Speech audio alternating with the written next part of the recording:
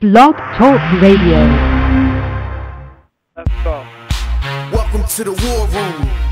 We got Dad, Madness is real. Kill, Jimmy, PJ, B. Austin, the hot block. I am all y'all Commander. dead. How you wanna end a one or two hour show to keep the brain running with the premise to talk sports on a national level. Sorta like some rebels. When it's game time, they like the Fab Five during prime time. Sports conglomerates speak their minds a little bit. For sports medicine and sports veterans and greats. The 4 for 26, so the war in Kuwait. It's the war room with five nights at the round table. Five Philly guys diversified and educated.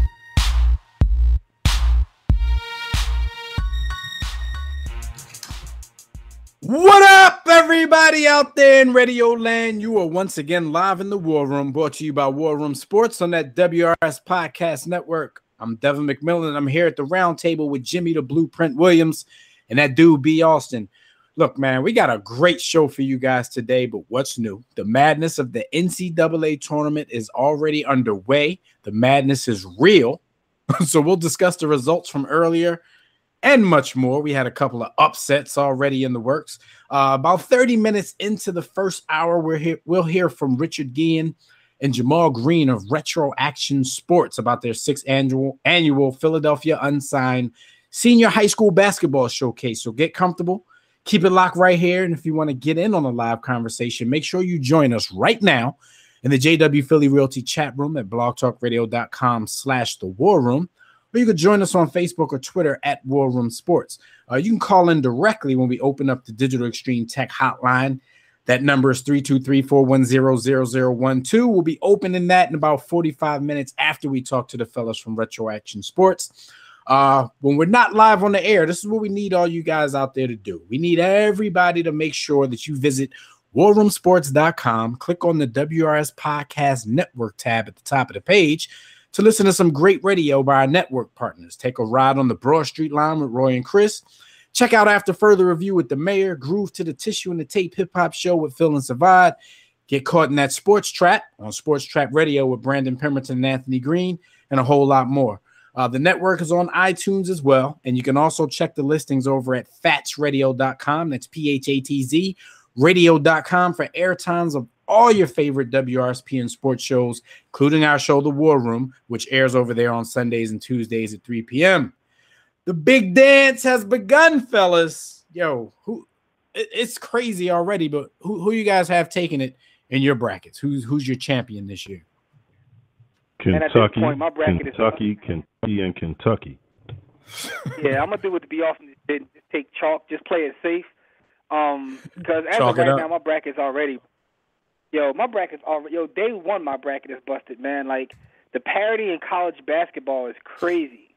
Even even the games in which the uh the the, the team that's the favorite to win, um, they're competitive matches. It's not really like you know, just complete blowouts like it used to be. Now we'll see later Yeah. on when Hampton plays Kentucky, whether you know they can keep it close. Um, shout out to Yeah. people from Hampton. You know, a lot of friends from Hampton, but uh, y'all about to lose bad. But um, Hampton you know, Institute. if they make that close, if they make that close, I ain't even watching the, the tournament no more. Like real talk. Right. No, it's, yeah, yeah. Yo. If, if if the institute can They- keep that within 30 points, then I give them a whole lot of credit for well, I, I give the NCAA a whole lot of credit for parity, as as Jimmy was just speaking about, because I don't think the institute I think can keep them it the within 30. That's that. That's that. From what I make you right. saw, from from what I saw from them the other night in the playing game, um, that nobody wants to call that.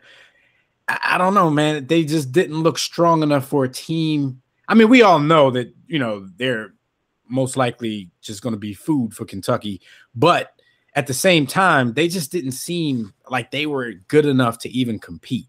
Now we've seen a lot of underdog teams actually compete and make these games tough. And I'm actually rooting for them to do that. You know, represent the MEAC. Shout out to HBCUs everywhere.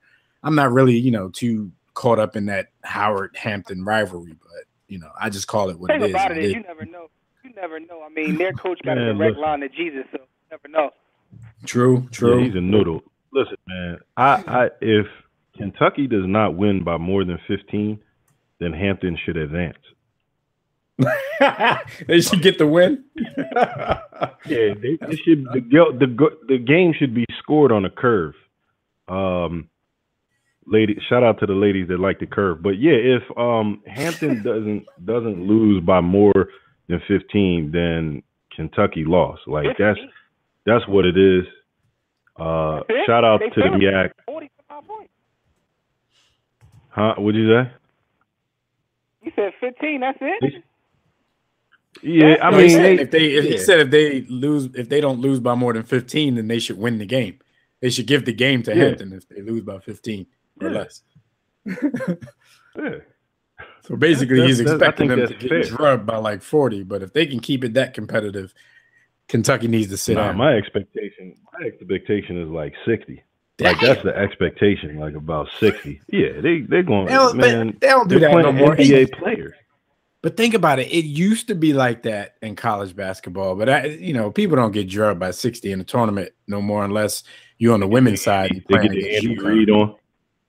Yeah, They get the yeah, Andy Reid on. I don't even know if they get the Andy Reid on. I just don't know if the the uh, players at the biggest programs these days are that good to smack anybody by 60, 70 points. Like, you know, we talk about this all the time how, you know, a first round or a lottery pick back in the 90s or before that, that's that's like immediate impact, almost immediate superstar for most Yeah. of those guys.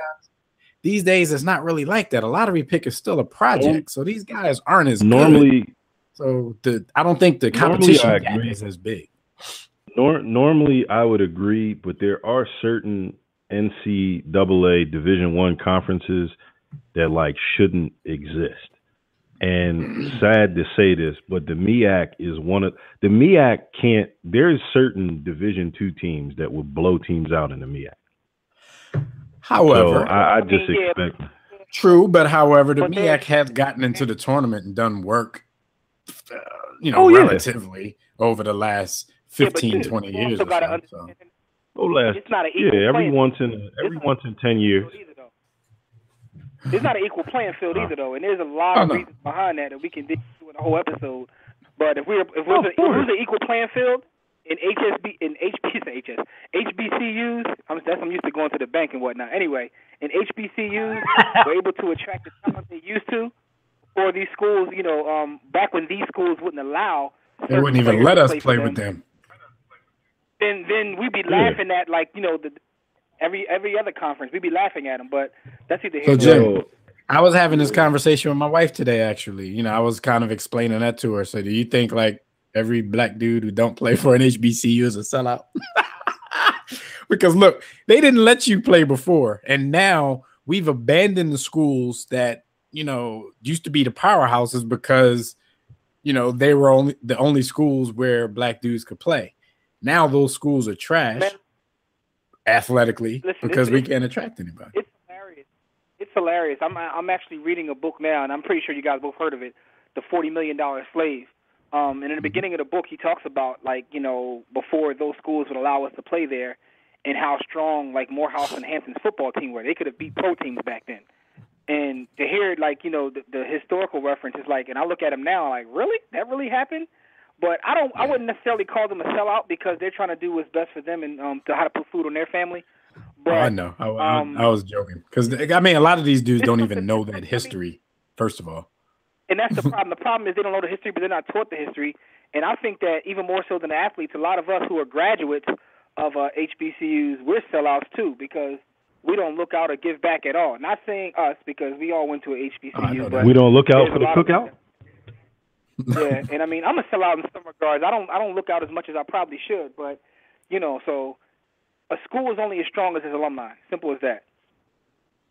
that's why my school is Diesel. all right, y'all. Let's let's get into this program a little bit, man. Let's talk a little bit about Hold on, what Deb, happened this week. Deb, What? Before we start, real quick, um, in our chat Huh? room, Scott you Kev say he thinks Kentucky and Hampton is going to be like the dream team versus Angola. I mean, you think it's going to be that bad, Joe? Damn, somebody gonna get elbowed in the chest real Kentucky can beat Kentucky can beat the Sixers and Knicks. Yo, All right, that well, actually, most, be like, we're gonna talk about that a little later too, because of some comments Larry Real Brown quick. made. Yo, real quick though, that that was like the most lopsided in terms of talent I've seen in any contest in any sport.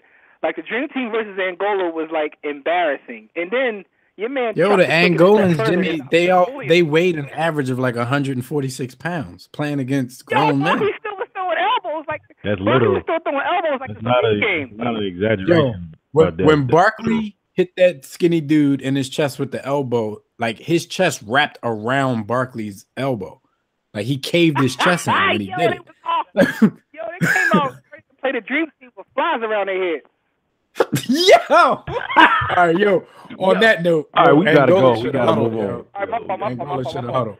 All right, Hey Jimmy, he said flies. in. my fault. Yo, Yo, Jimmy, tell to everybody Angolan chicks what I know that Portuguese look great. Yo, we love All you right. anyway. We just ignorant. tell everybody what happened this week while they were on the grind. Yes, sir. And while you were on the grind, at least for this week, I don't know about after this comment, is brought to you by Fine. DirecTV. If you like a better TV experience than cable has to offer, including the NFL Sunday Ticket, go to our website at warroomsports.com and click on that DirecTV logo. And guess what? You can get a discount rate. Everybody likes a discount. Just go to warroomsports.com and click on the DirecTV logo. Gentlemen, Said flies. though. Tiger Woods has continued to just um be replaced everywhere, yo. I, I haven't heard anything positive about Tiger Woods in a good five years. But now, even in videos, I have. he's being replaced by I heard, Rory. Jim. I heard Tiger get a lot of Oh, ass. oh yeah, there you go. I mean, that's true. He's still winning in that regard. He's being replaced by Rory McIlroy as EA Sports golf cover boy. Any thoughts on this? Um, that- I guess is is one of those passing of the guards things that had to happen. Um, the, the crazy part about it is it actually happened while Tiger Woods was still number one in the world. Well, not not Rory getting on, but they EA ended its relationship with Tiger in 2013 when he was still number one in the world. So you know, it probably had just a lot to do with first of all his fall from grace being about his social life, and even though he was number one in the world, he wasn't winning any majors. Um, if you're a marketing guy, you you had to see this coming. You know, Rory is their new hope, and I don't know. It's just crazy because Tiger's been the cover boy since 1998. It goes to show you though that the game was really just a game, and Tiger was just that dude that they used to make money. Because I always thought it was his game. I didn't know he was just the cover boy. You know what I mean? I thought it was his Nah. I thought it was they don't- Tiger Woods golf. You know what I mean? Yeah, nah. Yeah. I didn't know he Still could be got one drop of Negro Negro blood, so they was like, "Nah, you don't own nothing. We pay you." Yeah, We'll I didn't know he could be replaced though. B. I thought I thought when it was over, the game would just stop being made. I didn't know they could just Brody Tiger put somebody else on the cover.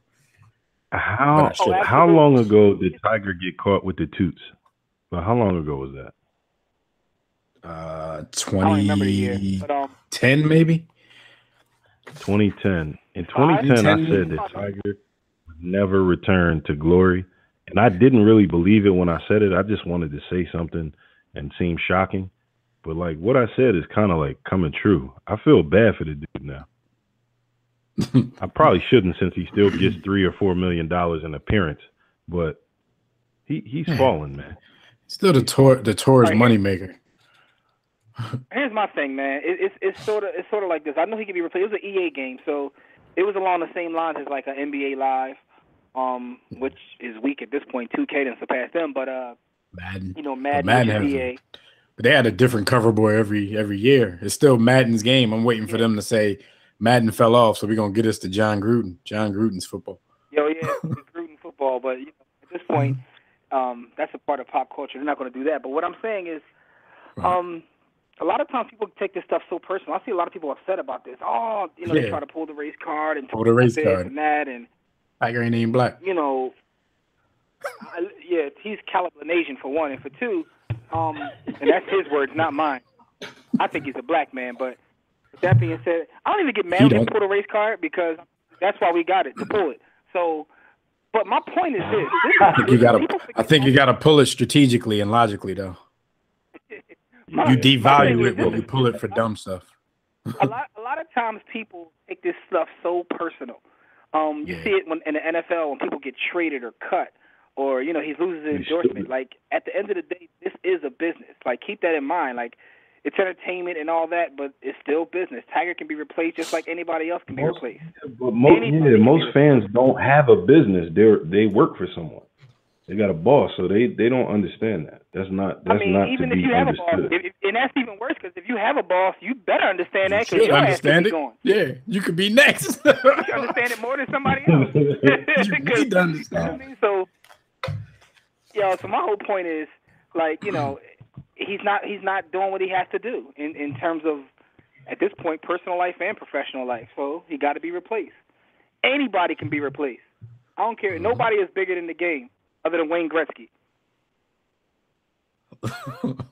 Nah, the symbol might have been bigger than the game. they not they not taking that Jerry jump man off the side of them Jordans though. Exactly. Oh, that yeah, that's that's product. That's product. Yeah, That's I, right. I, like I I said, mean- I, I mean, I fully wasn't- understand it. You got to move on to what's new and fresh and what's going to make you more money. So, hey, Tiger had a long run. Anyway, He was on the cover since '98. Like I said, he was on the cover so often that I thought it was actually his game. So, His game, yeah. yeah, he's made enough Money. at this point, he should have mention with EA Sports. Anyway, um, Shout out, shout out to Another- the Calibrination. Yeah, shout to the Calvinasian community. We love you. Um, next story. DeMaurice Smith is reelected as the National uh, Football League's uh, PA Executive Director. Uh, so shout to him in winning his election. We voted for another Smith. I ain't vote for nobody, but look, um, Demar Smith took a couple of shots on his way back in. You can't say on his way out because you know he's on his his third three year term. You know, being in charge of the NFLPA. Um, his uh, opponents, the people that he beat, were in former NFL players: Jason Belzer, Sean Gilbert, Robert Griff- Griffith. Um, also on the ballot were James Acho, Arthur McAfee, um, or McAfee, Rob London, uh, Andrew Smith, who was on our show last week prior to the, the, the balloting, and John Stufflebeem. Um, what he said, though, he said there will always be those who will sacrifice their dignity in a race to the bottom so they can climb over others to get to the top. I will not join them, and no human should. So, shots fired. I'm not really sure who they were fired at, but um, supposedly it was a nasty race. You know, we we got the opportunity to hear a little bit about the insides of that race, but I didn't know that there were things going on that would cause somebody to say this in their quote unquote victory speech. So um shout out to DeMaurice Smith for his his third three year term. Guess that's what the players want. Yo, uh, whoever he's talking to, they know. Yeah, they know. they definitely know. All right. Were you ready to say Austin? I thought you were ready. To. Nah, no. All right, guess not. Shout out to Demar- Demaurice. I'm happy for All him. right. Well, let's move on then. Let's talk about DeMarco Murray. Uh, the Philadelphia Eagles halfback DeMarco Murray. Um, yo, Spray tan. which one. Um, it was one. Of, it was one of those. Yeah, spray tan. It was one of those. Um, and what's the NFL guy that? Uh, I, I'm getting ready to ask you a dumb question. Um, Charley no such Casserly, I think his name. He works on the NFL uh, Network. Charley Casserly, the, uh, the the the GM or president, or Right. whoever he used to do. Yo, did- he said he something? was like, he was killing Shady. He was like, this, is a- this is a huge upgrade for the Eagles. He was like, nobody wants a running back that runs right and left. I was like, yeah, he was going in on him. I'm like, damn. I thought a huge I actually saw that because he kept repeating it every time he got on TV. He kept repeating them, you know, Yo, I was like, of how much of an upgrade this was for the Eagles. He's like, nobody wants a running back that runs right to left. I say, yo. Anyway, with all that being said, DeMarco Murray is now an Eagle, but he rented a billboard in Dallas to thank Cowboys fans for his time there. Um, you know, Shady made an Instagram video. We ain't getting no billboard, but uh, you know, what do you guys think about uh, DeMarco taking the time and money to do this? And how do you feel about athletes in general when they're on their way out thanking fans? Shady got traded, so classy he wasn't cliche. he wasn't going to pay for a billboard. Dude, dude left on his own, so he felt with his newfound fame and well, not fame, his newfound fortune that he that's the least he can do. My bad, B. Yeah, I mean, it's a quote unquote cliche, classy quote unquote move. I mean, it, that it's it's pretty popular for guys to do that who have been in a, in a particular stop for a long period of time. Well, Um, There's usually an ad in the I don't feel newspaper, one. Like a, a full page ad or something like that. Yeah, full page ads. I've I've seen some billboards. Um, yeah, I'm like, good for him. I mean, he's showing appreciation to the fan base. But as Jimmy had had, had alluded to earlier in the program, uh, fans take take these things personal. So I've already seen Dallas start everybody the slander company. on my man Spray Tan, talking about his low moral character. Meanwhile, they signed Hardy, but uh, talking about his low moral character and he's uh, he he he he they used him up. He's not going to be any good because he had 392 carries last year. He's terrible. So that to me, He Right. gets hurt all the time. So He's a bum yeah, all of a he's sudden. overrated. All of Without a sudden, that line, he all wouldn't have of got three yards. that's not But it goes exclusive both to, ways. Uh, Cowboys fans. I see it No. all the time, and it's the greatest thing ever. Like, yo, the the day Demarco was signed, it was like, well, without the line, he's garbage. Um, his his characters are questionable. Like, even when Patrick Willis announced his retirement, I saw Niners fans, so-called Niners fans, like, well, he ain't been good in years anyway. Like, Yeah. as, as soon as someone's off your team, the hate comes out. But you know what? That's how it's supposed to be. That's how it's supposed to be. I agree with it. But- You but you know what, fellas? yo, You off my. F you. Taking it personal, it goes both ways because if you look at Philadelphia Eagles fans now, you know, all of a sudden DeMarco's a beast, but I'm not that's not even really what I said that for. If you you look at this billboard situation, you look at how many Eagles fans are saying, "Oh, he's a classy dude, he this and that." But you know, this was the same dude who was a cowboy cockroach who, you know, they might have killed in the in a in a private dark alley like just 2 months ago. But is like Jimmy said, it, it all depends on who's on your team and who's not on your team. Because Yo, he went man from had sex with his best friend's wife. yeah, he ain't classy. he ain't classy. He at all. classy at all. Sam Bradford uh uh recruited him to come to Philly. Sam better watch his woman. That's all I'm saying. Yo, shout out Watch to your Sam girl. Bradford, man. My man Mike got a got a casino somewhere because you know he, he a uh, Chippewa and whatnot. Anyway, um, Watch. Mace will hit it. Spray tan will hit it. You got to deal with it. we talked about Hampton University. Um, you know, making it to uh, March Madness. Some some say they've already won a game. Some call it a playing game. I don't know how you guys define it, but um, they have to go up against Kentucky, the big powerhouse. And Hampton's coach uh, claims to have Jesus on uh, speed dial. Reggie Miller was the one who made a comment. They're going to need, you know, Jesus or what have you in order to beat Kentucky. Yeah, act of God. And he picked up the phone. Yeah, act of God or something like that. He picked up the phone and said he got Jesus on speed dial. Um, my problem with this whole thing is he had the phone backwards when he was trying to act it out. Like, yo, what, what are Yo, you I didn't get that part. Well, it is Yo, watch, Jesus watch you're talking video. to. He had so the you- phone backwards. Yeah, he did because I saw the, the part that it was outside of his face was glowing. Like I, I noticed that too. Um, for me, that this was one of those things that was to me it was corny and clever at the same time. You know, somebody's doubting your team that much, saying you need an act of God. So I think it was clever for him to bring Jesus into the mix, but I think him putting on the whole show for like 20 seconds with the phone pointing the wrong way, I think he took the clever and and messed it up and turned it into corny. So, Yeah. But would- I shout out to him, man. Represent the Guy that's MEAC. Not used- MEAC. He's not used to being in that situation, and so he had a Yeah, we don't he do had press a conferences in the MEAC. We don't do press conferences. Yeah, so we don't do yeah. So he he he got excited. He, he ran away with it. But my Um, thing is because but his team is about gotta be get bludgeoned. Tongue, though, man. What you say, Jim? Your slander game got to be better than that. Like I would have Yeah. took a shot at Reggie Miller. I'd have been like, he needed to act the God to win a chip. Looked like it never came through. I would have said he needed a dentist and just left it at that. But that's just me. I was I would have said That's why your I would have wife said Reggie. How'd you get that acting career on uh, Star Trek? Looking like that. or I'd have just got petty with it and just said your mama.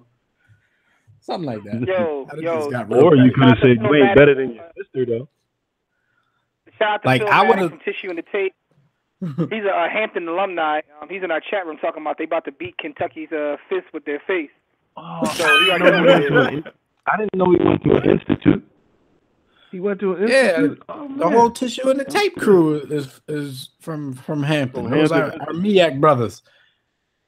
supposedly our rivals. You know, I don't, I don't get into all that, but especially at especially in athletics, like what claim do we lay as far as athletics are concerned? Howard, we haven't been to the tournament also- since '92, and when we went to the tournament, Also, Scott, it was uh-huh. no. When we went to the tournament, the the the competition gap was what we were talking about earlier. Kansas put their foot in our ass in '92, but. But it's all good. Broke They- it 'cause they off and always throw- up in there. they always throw the MEAC still rep can't. like the, the best team in the country. So that's how it goes within the MEAC. Yo, but listen, uh, Skyview Kevin says that DeMarco Murray actually sponsored his son's uh, basketball basketball uniforms. He's a classy guy. Um, Skyview Kevin, I be seeing your son on like uh, the internet. Like he like he about to be a star. So DeMarco actually putting work in in the community, man. So Tell You your know, son to watch see. his girlfriend. He still, yo, he still would get at your girl or your wife though. Like just because he bought some uniforms don't mean. I mean, tell Go your son to watch his girl, B. watch his chick. Oh man. Anyway, with all that being said, man, let's move on to uh, give some birthday shout outs before we uh, move further. So, Dev, tell everybody who's having a birthday. No doubt, because in a few minutes, uh, we should be having uh, Richard Guillen and Jamal Green from Retro Action Sports on to talk about the uh, Philadelphia Unsigned Senior Showcase that's coming up in April. Uh, but before we do that, let's uh, talk some birthdays, like Jimmy said. All right, everybody, birthdays, as usual, are brought to you by Digital Extreme Technology. Do you or your business need a custom website? Well, for dynamic, professional, and most of all, affordable custom website solutions, you need Digital Extreme Technologies. No need to break the bank for an effective online presence, top quality, results driven websites at incredibly affordable prices. Financing options are available. So visit digitalextremetech.com or call 267 205 4203. That's 267 205 4203.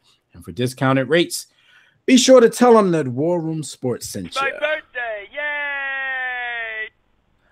All right, celebrating a birthday today is one Hedo Turkoglu who turns 36. Y'all remember when Tito, uh, Tito, Hedo, he was that dude in like 2009 when Orlando made it to the finals. Like, and Yo, then it seemed Yeah, like one year. with- very next year, he fell off like Humpty Dumpty or somebody. Like, what happened? Yo, he must have been using steroids he that year because that year he was amazing.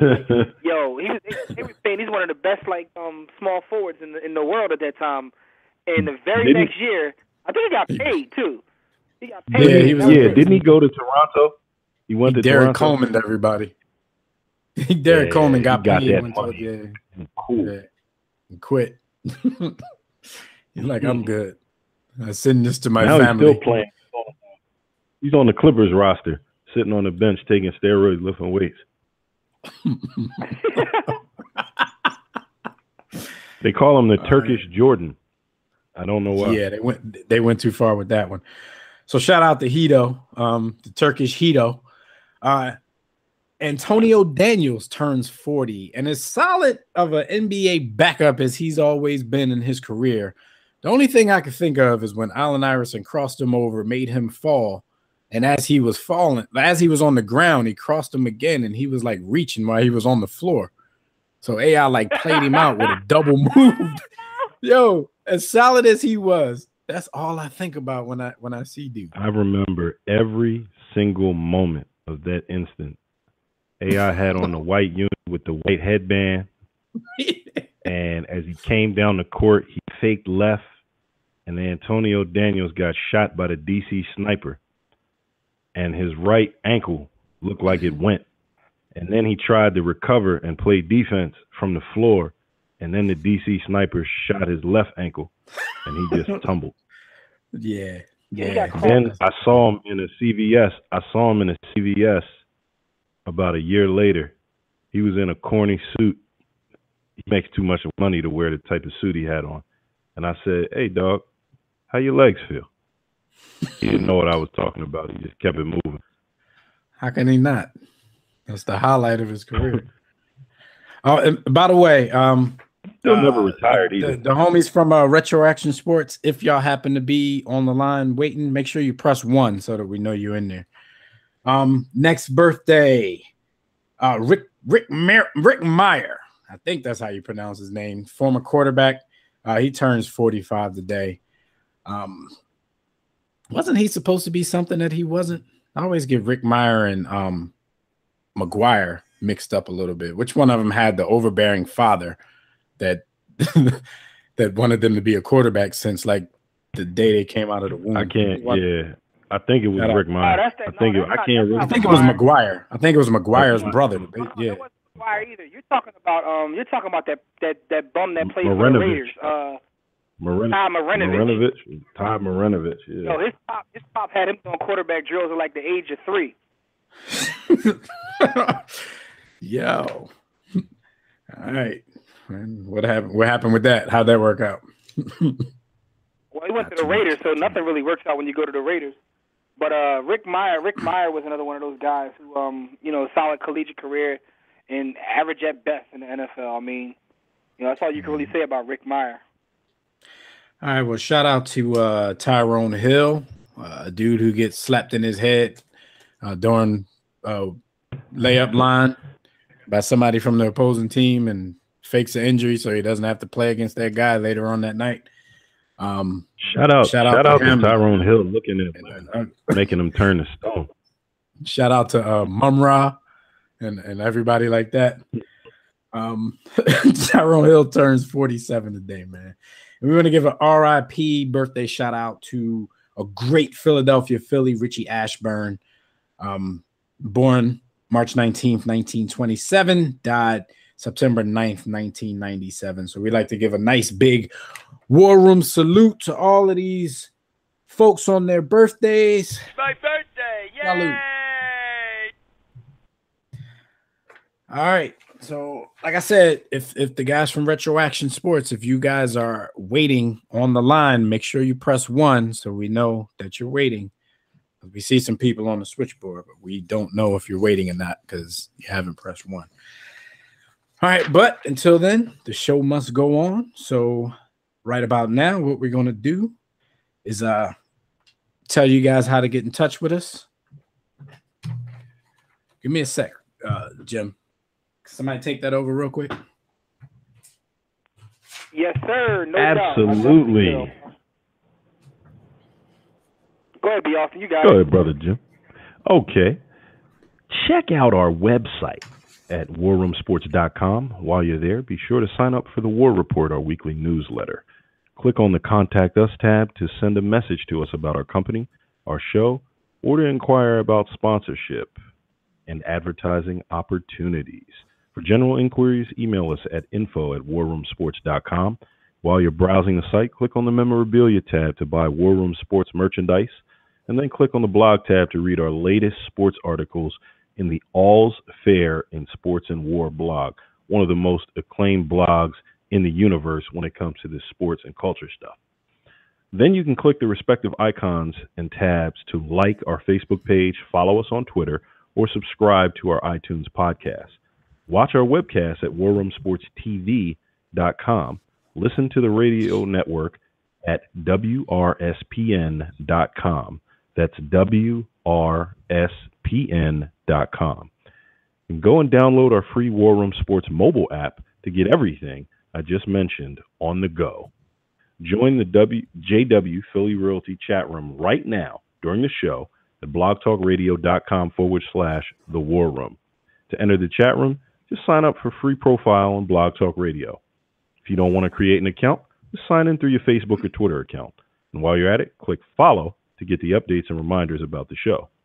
We'll be taking questions and reading posts from Facebook, Twitter, and other social media platforms as well as, well as the chat room during the show. To call in and speak with us, just dial the Digital Extreme Technologies hotline, 323 410 0012. Press 1 when prompted. If you're already listening from your phone, just press 1 if you want to talk. All right, no doubt, no doubt. Jim, uh, screen team that. Let's let's uh talk. Let's get in some some hot topics for for a second before we get our guest on the line.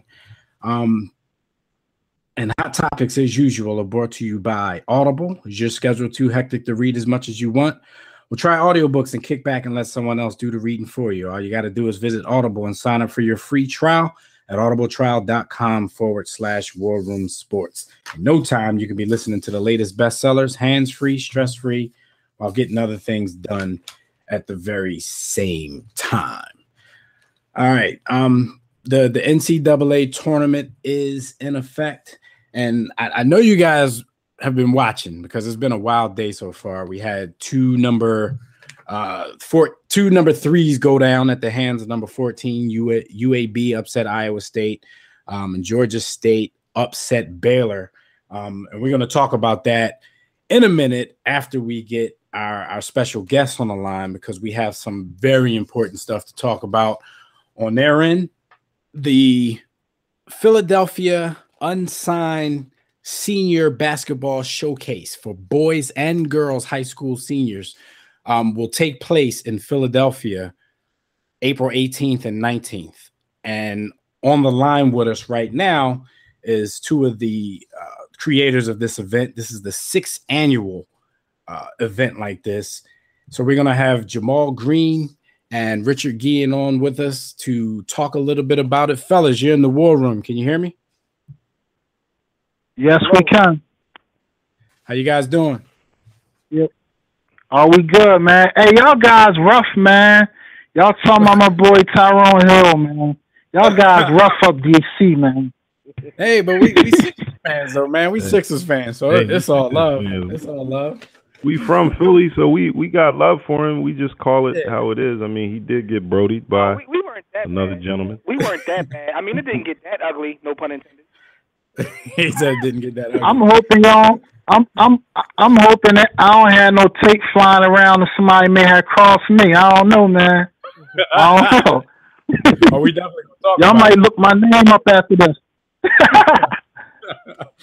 All right, so, but, so no, but uh, let, us let's talk a little Hello? bit. About, can you hear me? yeah, I can hear you. Okay, let's talk a little bit about the showcase because this is the sixth annual uh, showcase going on. So Yes, just let the audience know, um, you know, let them know what it is, you know, where it's going down and when it's going down. Well, like you said, the sixth annual uh, showcase, which we have every year at uh, Imhotep Charter School in Philadelphia, and uh, what we do is we uh we originally started because we just wanted to help kids in the tri-state area and all over, tri-state all over. We just really wanted to give uh, kids a shot and a chance to get recruited who you know who are most from like the uh public leagues and the Catholic leagues who really like weren't getting highly recruited. So what we did originally, we started we just got kids in the gym and called some coaches up. And we uh we were luckily and we were blessed to get a lot of kids in school um over the past uh five to six years. So um we you know we we really been expanding uh, to get just helping kids get in school. That's like really like our, our number one goal is to expose the kids. And uh, the uh, most people they can go to uh, retroactionsports.wordpress.com for more information um, about the events. But we uh, this year we're looking to um, we look we're looking to have over sixty schools uh, colleges that's come now. That that's including junior college, Division One, Two, Three, and also a lot of prep schools come out to the event. Okay, okay. And it's um when the event being held? What's the date Uh, April April eighteenth in Philly, PA, at Imhotep Charter School. Okay, and, And uh, for what we normally do. That's the boys. April eighteenth. And we what we do is we play five games. Yes, Yeah. those on the 19th. They'll Okay. be held at Mastery Charter. uh, 5700 Wayne Avenue in Philly, PA. Um, Yeah. so you Yeah. saying the, the the boys when you usually play five games. Yes, five games. So and all the games are videotape and highlight. How does that work? Like you I'm have a, a roster of you have a roster of players, Yeah, and like say if I'm if I'm one of these players in this, like how many of those five games would I play, or the, or does that depend on how many you know people you actually have that signed up? A combination of both. If you could play, we're gonna have you out there. Okay. Trust me. You can play. We're gonna have you out there, and you know we we we extending this to DC too. You know we we we're not gonna discriminate. It's not just a Philly thing. Like we we we extend this to DC. We have kids coming down from all over, but of course we try to make sure we take care of our back our own backyard first because we originated. We wanted to just give kids from the Philly area more looks because you know things happen, especially with us inner city kids. So we wanted to we wanted to provide a platform for them to say, all right, whatever your situation is, okay, this the event. You know what I mean? Like, and, and you know, like I said, we don't discriminate. DC, New York, Virginia, we got kids coming from all over. Yeah, that that's a good point me ask you a because there's been some people throughout the you know the history of Philly, especially the public leagues. You know, you got people like Right. uh, Jared Kears, uh, Flip Murray, who didn't Right. go to D1 schools, Right. not because they weren't talented enough, just because certain things happen. They end up going to a D2 school, Right. and, and you know, Flip makes it to the league and has a pretty good career. So I definitely understand, you know, where, where y'all going with this. Jimmy, you said you had a question? Yeah, yeah, yeah. Um, my question is, um, now this is for this upcoming season. So, essentially, if if a coach were to see talent they like, uh, say this April, this is for the the following year. So, this is for seniors only, right? Yes, unsigned seniors, but we also have a game um, for kids who, let's say, um, for whatever reason, they may went to junior college or they may have unfortunately got into a, whatever situation was, um, and they may be 19 or 20. We we also have a game for that for guys who played one year JUCO and for whatever it didn't work out. Okay. So Yeah, we have the that's what I high schoolers. Have, yeah, we have the high schoolers like right now who are about to graduate. But then we, but then we also have a game. Sometimes things happen and you have kids lingering. So of course they're still going to call us because one thing about us, we're like we're mentors for life. We're not like people who say, "Oh, you just blew it." You know what I'm saying? You know, you, we, we you know we done with you. We normally we may have a kid that's 21 that's more mature, more serious. He may have just flunked out in high school, but he turned 21 working. He may be taking classes at a local community college, and now he's ready. He's more mature. He's ready because he's made mistakes, and then we help them out as well. So we pretty much do the dirty work on the back end. All right, so um, that's, that's good. We definitely got to give the girl side some love. So how how does their A- showcase go? Yeah, let's on? give Is the it girls some same- love. Is it the same amount of uh, games for the girls? Well, no, actually, um, this year we've all kind of met up and realized that there was an even bigger void on the girls' side of things. I don't know if a lot of you guys keep up with just Philadelphia girls basketball. They don't have the same support structure that the boys have because obviously the girls' game isn't as entertaining. So this Right. year will be our inaugural year of having a girls' platform. And right now we're just going to start with 40 players um, but they're still going to follow the same system. The games will be filmed. Um, the coaches we're expecting at least over 30 to show up for the inaugural event on the 19th. Um, and you know they they still going to have a coaches packet. All the games that the coaches, the college coaches buy a packet. They all include full games of every game, both games that will be played that day. So it, Okay. it's really shaping up to be something really great. Where uh, registration right now is really filling up fast and it's overflowing throughout the tri-state area. So it's what we're very excited about. Yeah. Now, when you see that you guys reach out to other uh, geographies and locale, um, are there plans to expand the actual event outside of the Philadelphia region uh, into Jersey, down to DC or Baltimore, or are you more or less inviting players from those other places to come and play?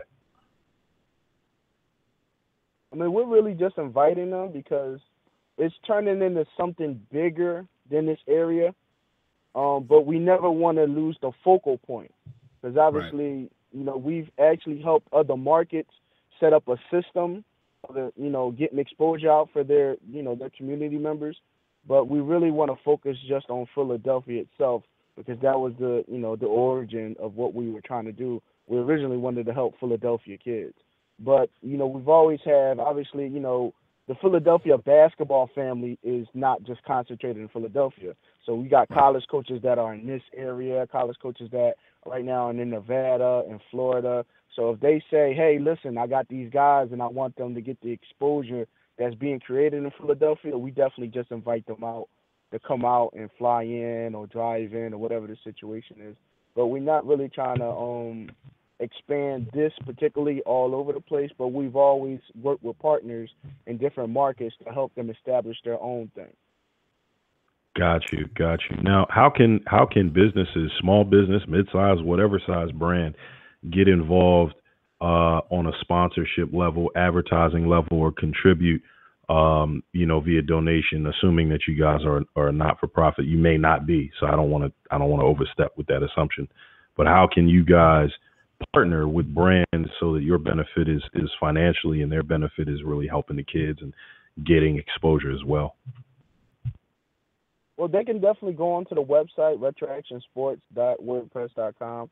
Um, my contact is available on there. Jamal Green's contact is available on there. Rasul Hodge is uh, another partner of ours. Contact is available on there. And you know, we exactly have a, a pretty much strategic budget, and you know, we let them know exactly what our expenses are and what we're trying to do. Um, last year, maybe about two years ago, Dickie Simpkins um, from the Championship Chicago Bulls had donated shirts, and a couple other small businesses have donated some of the expenses where we Wow. hanged up banners in the gym and stuff like that. So, you know, they can definitely reach us through the website and they can actually go through a lot of the stuff that we've been doing. And it's not just this event. Uh, Retro Action Sports also deals with a bunch of other community events.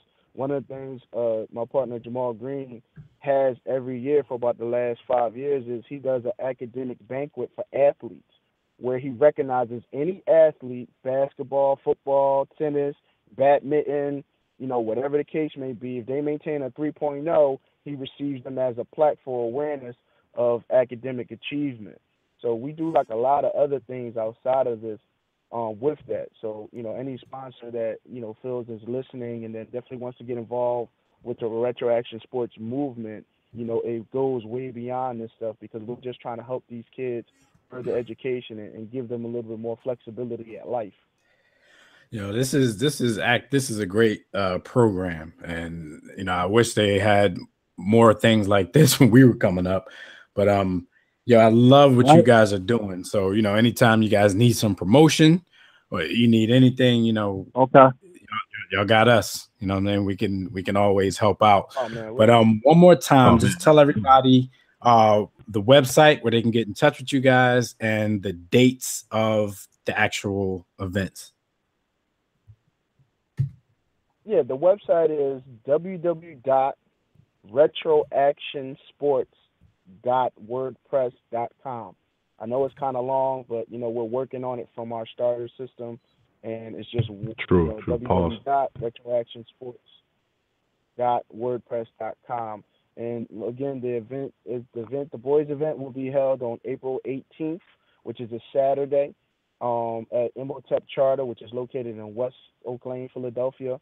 And then the girls' event it will be hosted at Mastery Pickett Charter School, which is right off of um for the Philadelphia listeners, which is right off of Chelten and Wayne, 5700 Wayne Avenue, located in Germantown section. All right. Question be- and that other the other game for uh, the other Go ahead, game for uh, students that are or or uh, guys that have gone on and graduated from high school. When is that game held? Well, you're talking about on for that yourself? particular subject, um, what it's Absolutely. actually within the 18th. That's that's the boys. That will actually take place on the 18th. As Mr. Green already talked about, is you know we have certain kids that are talented that you know it just didn't work out the traditional way, and you know they get a chance, and obviously they have to be serious. We have a little bit of a filter system when we're dealing with these type of kids because we got to make sure that we're exposing you to coaches, you're serious about taking the opportunity. but there will actually be playing. We have a specified game where we deal with kids of that type of qualification, whether they're uh, a junior college or they're a couple years removed from high school. You know, we let the coaches know like these kids are these are these type of qualifiers, and you know, coaches are always looking, particularly certain type of schools are always looking for mature type of kids, particularly Division threes and Division twos, and like a little bit distances. You know, they're always looking for those type of kids. But for that criteria, they'll take place on the 18th. Okay. All right. Well, you know, we've you know ever since we heard about the um the event, we've been pushing it to coaches, uh, eligible players, um, AAU programs, you know, whoever we can. So we're gonna do whatever we can to help y'all push it up until that uh until the actual date. And we'll definitely be in the house to to see some great basketball that day. So I want to thank you guys for Y'all coming down? moments to come on. Yeah, yeah. I'm I'm I'm gonna make it up there. I love uh love to see some good basketball. And you know, this this this is the type Oh, of man, it'll be good. going to be hungry. So we're definitely going to be in the house, man, to support you fellas. Um, so Jamal, Rich, we we really appreciate it, man. Um, everybody check out All right. retroactionsports.wordpress.com. Um, and and if you have any kids out there, or if you're a coach or whatever, if if you're interested in this, uh, hit us up, warroomsports.com, or you can hit us on our Facebook or Twitter, and we'll give you all the information you need. Fellas, it was a pleasure, and we'll be talking to you guys again because you know we're gonna link up for some more events in the future. Thanks, man. Appreciate it. Really appreciate it. Thank Absolutely. you, everybody. All right, no doubt. All right, that's Jamal Green and Richard Guillen from Retro Action Sports. Everybody, uh, check out that website, retroactionsports.wordpress.com. All right, that, that sounds like a, a a really good program, man. It sounds like they're helping a lot of uh, youngsters who who might otherwise not have the opportunity. You know what I'm saying? So that's, that's definitely Yeah, a great man. thing. Grassroots. I, I really appreciate what they're what they're trying to accomplish, man. I really Yeah. do. So yeah, we will be reaching out. accomplish. You know. Basketball is an amazing sport and places. You know, even if on a D two, D three level, you know, has the ability to take you places, man. So uh, I definitely salute them for what they're doing and continue the good work.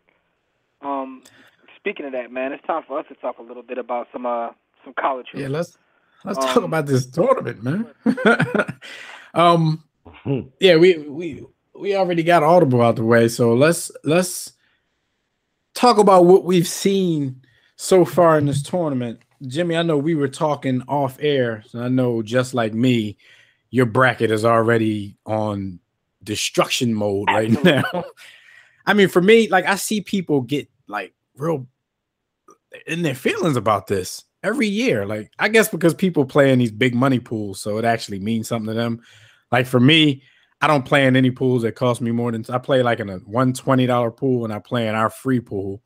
Um, and that's just us trying not to give out a prize, but uh, Pretty much. But see, for me, yo, it's like, yo, this thing. No one. I've never met anyone to get a perfect bracket. Although people have lied. You know, these people are lie. My bracket only got. I never seen it. Um, Yeah. and the thing is, I'm a coward. I'm not gonna lie. When I'm watching uh the games and whatnot, I mean, we're not watching the game. When I'm filling my bracket, yo, even if I want to pick an upset, I don't have the guts to do it most of the time. So I end up like picking chalk for except for like maybe one twelve over a five or or one like nine over an eight. You I was about to know what I say mean? So my, my bracket- upsets are usually nines over eights. I think I picked nine, uh, three nines over eights.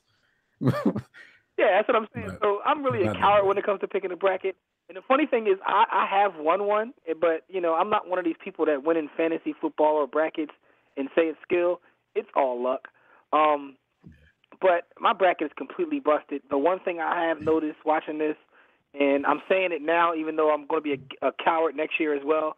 But in in NCAA, there's so much parity. I mean, even the games, um, you know, where you have an 11, say, playing a six or 12-5, you know, the games are close. All these games are close.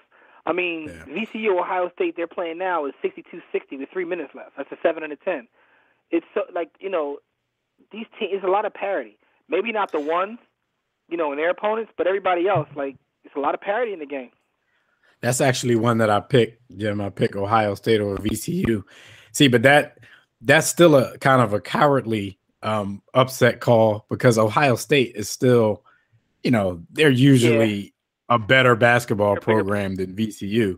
So I'm figuring, okay, we got Ohio State all the way down to 10. I'll pick them to win because they're more likely to but at the win over VCU, who's considered a mid major anyway. So I did You call that and try My logic like was money up because that's LeBron school, so you know it's a, the fix is in. But anyway, um, it's a lot of parity. Um, on the- one one other thing I want to bring up before B also starts talking about the tournament is that the fundamentals of the game are just completely terrible. Um, I'm not gonna get on a rant about competitive greatness, but I've seen multiple point guards who shoot below 50% from the foul line. Like I don't know, I don't know if I've ever seen that before. Like point guards can't shoot foul shots in the NCAA. yeah. Like foul shots.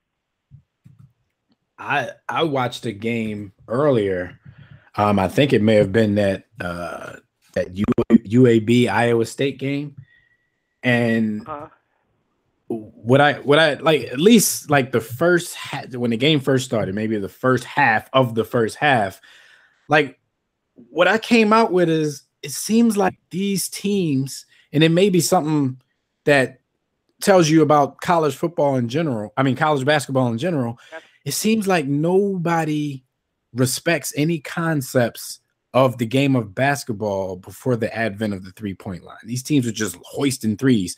Both teams started out like two for ten from the from the three point line, but kept shooting them. a lot of that, is, a lot of that is analytics, and uh, you know that's because if you watch the NBA, it's a lot of that nonsense too. I watched Mhm. the NBA game the other day. I, uh, I forgot who it was. The Pelicans Yeah. played somebody, and it was like threes flying everywhere. I'm Right. like, yo, That's the game. I wonder what- That's the game. That's the, the. I won't call it growth.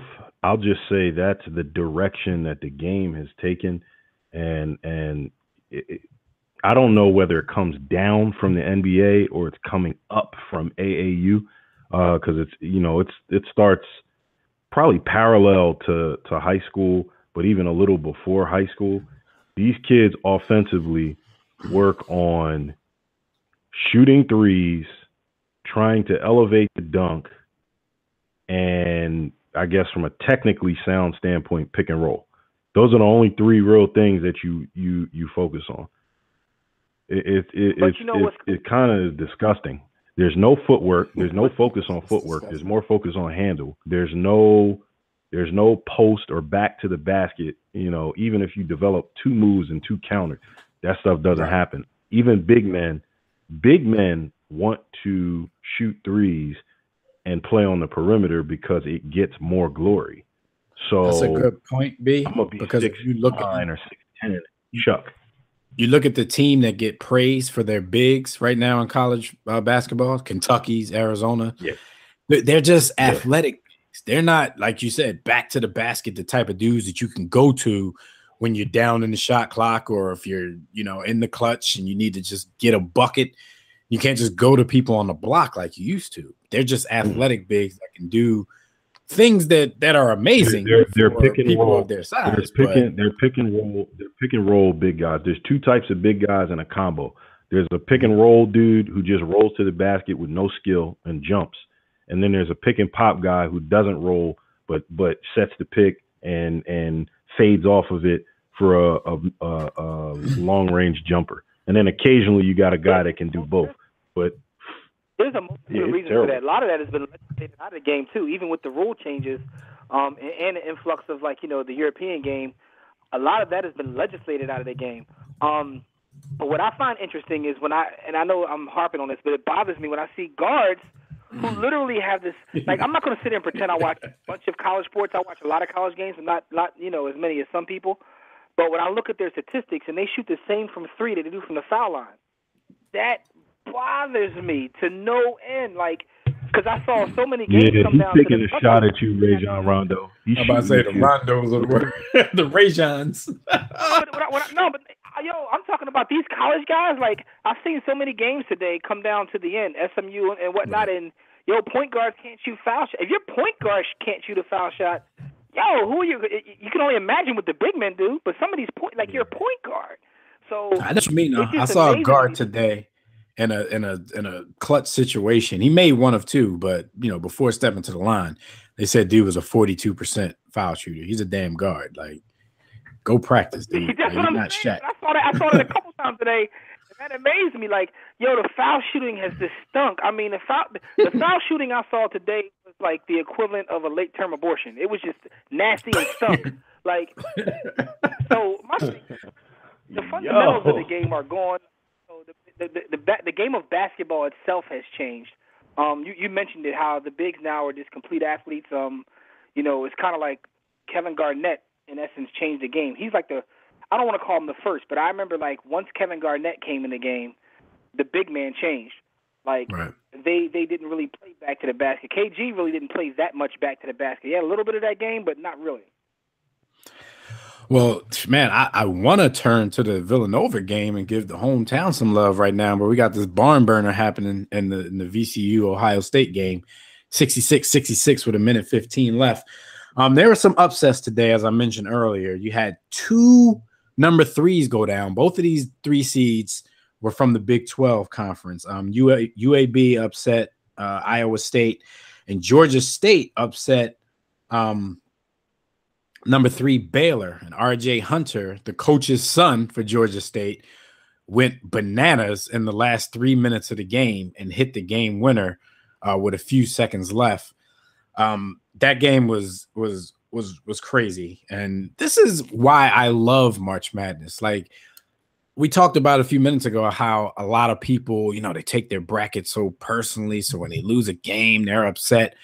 But I love seeing this. Like especially in the early rounds. Like it might not be that exciting in the later rounds when one of these Cinderellas get to the, you know, to late rounds in the dance and then they get smashed because they finally realize that they're not supposed to be there. But early in the tournament, this is really exciting. So, you know, I, you know, it, it messes up my bracket, but I don't care. I'd rather see the excitement. That's why I don't gamble too much. I'm not going to put a bunch of money in there. It was made for TV. His pop was on the sideline, falling out of his chair. He had a, uh, a torn like Achilles or something. So my man He was tore his Achilles celebrating when they won the uh, conference tournament to get into to the Yeah, tournament. he was coaching from a rolling chair. He fought the chair. It's like a Disney movie clutch. and whatnot. yeah, his son, his son, the half breed, hit that major three. Like he put up, he put in work at the end of the game. Um, and Well- and, you know, I saw the, the pom poms as B also uh, anointed him. Start talking about his NBA career and how far he's gonna, um, how high he's gonna go in the draft. After my man scored 16 points in the first round. Well, I um, I, I I saw that he's tr- he's thinking about um leaving and foregoing his senior year He to needs go to to change the that thought. um his his dad is trying to talk him out of it but like i wonder if his dad is trying to talk him out of it because his dad is the head coach of the program and he can use his best player for another year or if his dad really doesn't trust his pro prospects at this point or if it's a little bit of both i mean because you're looking out for your son so you know if you think your son is good enough to go to the league i think that might be a little more important than your program at the, at the moment that's your son or making him a better player and making him stronger. Like, I mean, here's the thing: I'm all for people leaving early. Like, I, I'm not about that. I, I'm not one of these guys that says keep him in school. It makes the NCAA game better. It tears up the it tears up the NBA. But my thing is, do it if you're ready you, is my point yeah, if you're not ready, and obviously your pop is the head coach at the university, just won a game. Like he doesn't seem to come from like you know, um, I don't know their situation, so let me not say I know it, but he seems to have a foundation there. Take your time because you know you can go back and become a higher prospect. I haven't heard of this guy until this tournament, and even watching him play, he didn't come off to me as someone who's going to be an impact player right away. Well, he they, they said you know he, he struggled in this game, um, no doubt. Like this, I guess the the first portion, the first part of this game wasn't indicative of how he's played throughout the season. I think he may have averaged twenty points a game this season, but um, you know this is when you get When your dad tested. I mean, you're playing against the, the, the bigger boy, so His pop is a coach. He probably got every all the plays called for him. Pass the ball to Will on the uh, Fresh Prince job. yeah, like, Fresh Prince. hey, but um, S- SMU went down to UCLA on what was a pretty controversial goaltending call. Did you guys see that? Yeah, I did. I did. What's, um, what are your thoughts? Was it goaltending or not? It's one of those things. When you watch it, it's like no, but when you read the rule, it's like yeah. So it's one of those things. A lot of times you see in sports with a rule, just the rule just stinks.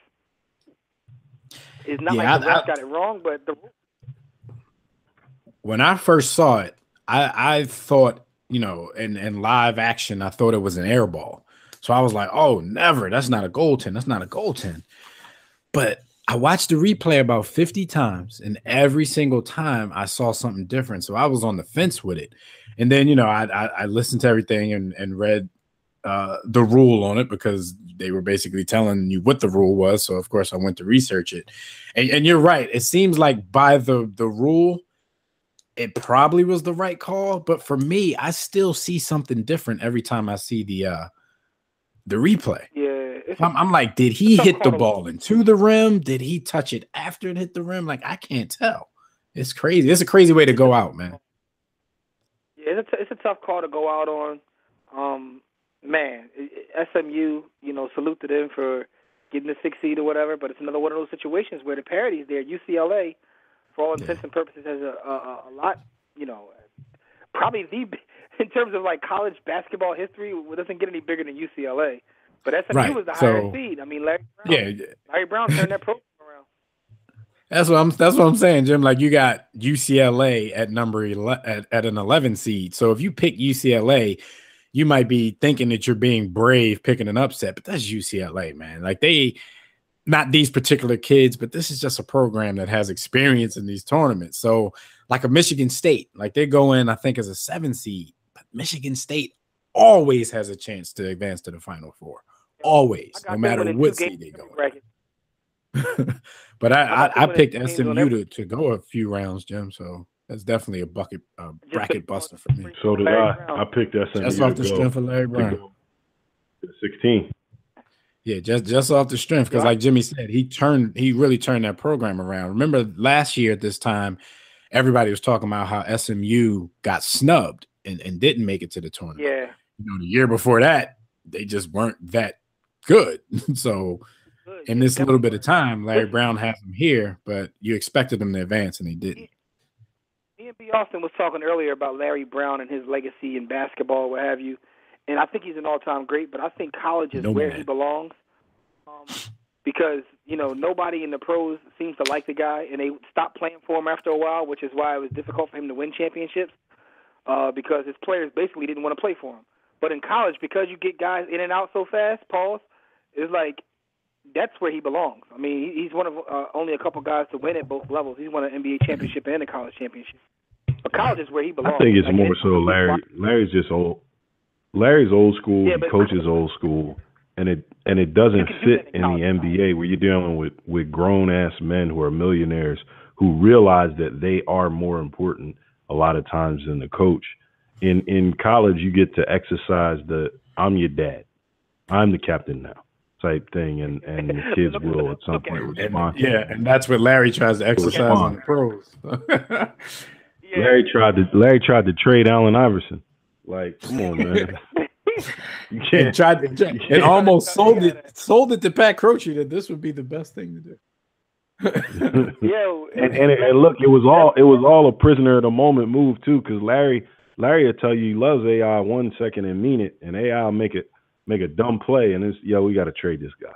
Yeah, it's all impulsive. Yo, he be trying to trade him mid game. Mid game, he try to like pull pull a trade on AI, man. But listen, man, I- yo, I, ne- I haven't I haven't seen like one player that used to play for him in the pros that likes him. And you got some of the other coaches like dudes will still run through a wall ten years after retirement, but nobody likes nobody likes Larry Brown. Ten years. So he found he Vince found where he Lombardi, like belongs. He's sixty Kansas. years. Lombardi still got Yo, like he's a- elderly men calling him grandpa. But um, Who was that? What, what coach is that? Vince Lombardi. Vince Lombardi. Oh, oh. God! Oh my God! Yo, Vince Lombardi had a cult. That's not a. He wasn't a coach. He was a cult leader. I I don't even compare him to other coaches.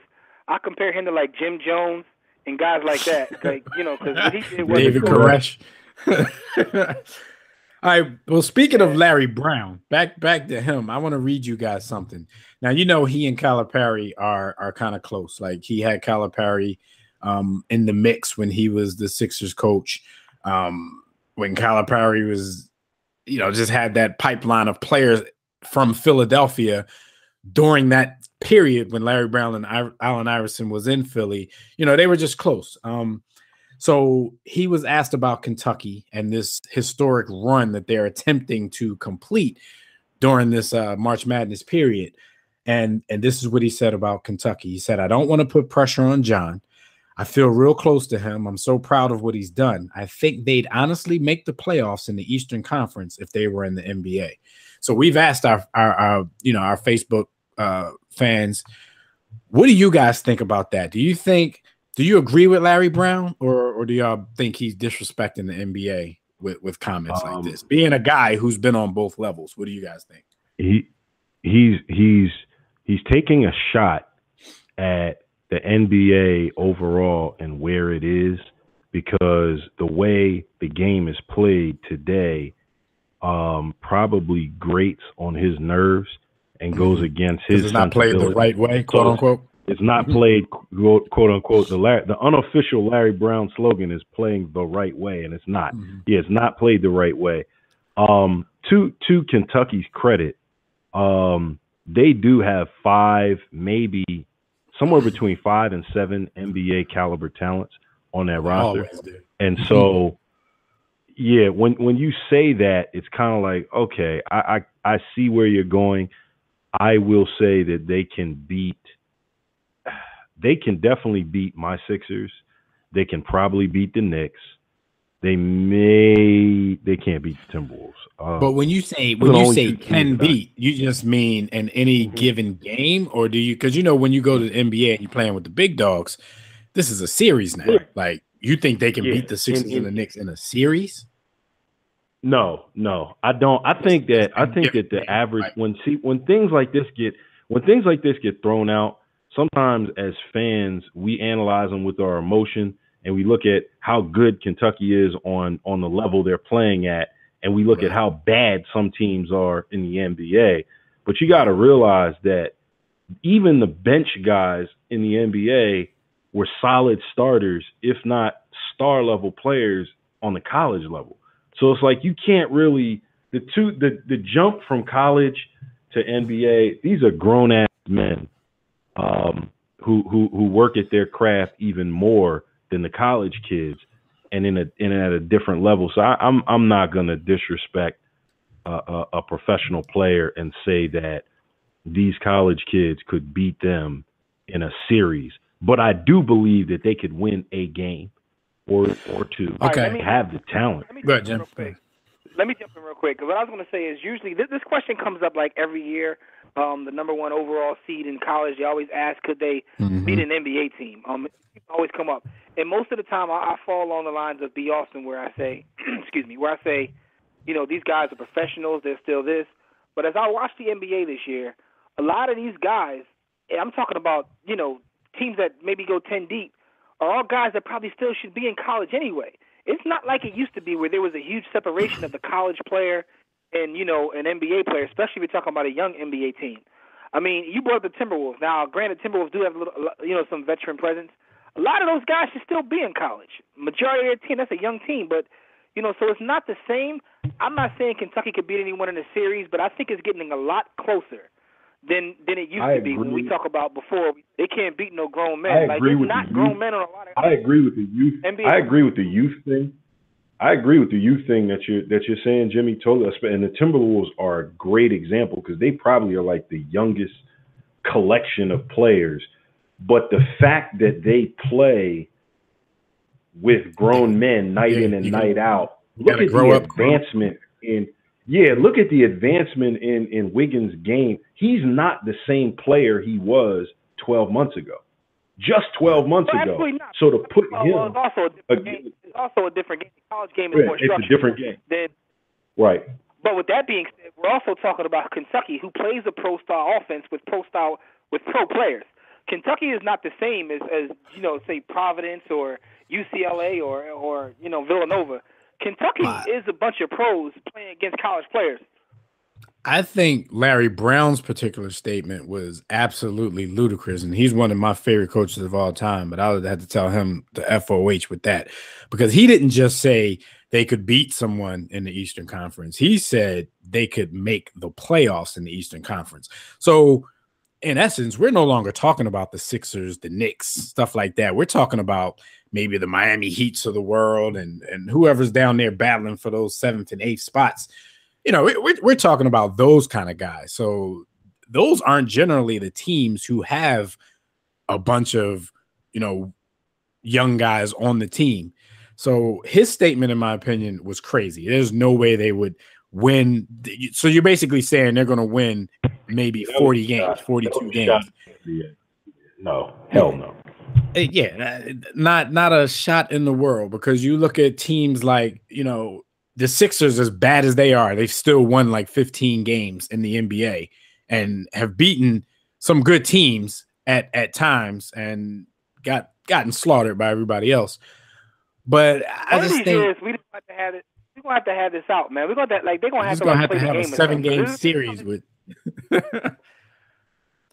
No, But you know what? Like I, I, I, I, I get where you guys coming from, but I think Kentucky is like just something different. Like I don't like they kind of like they cheat, man. There's no, there's no way they don't cheat. There's no way you get that many pros on.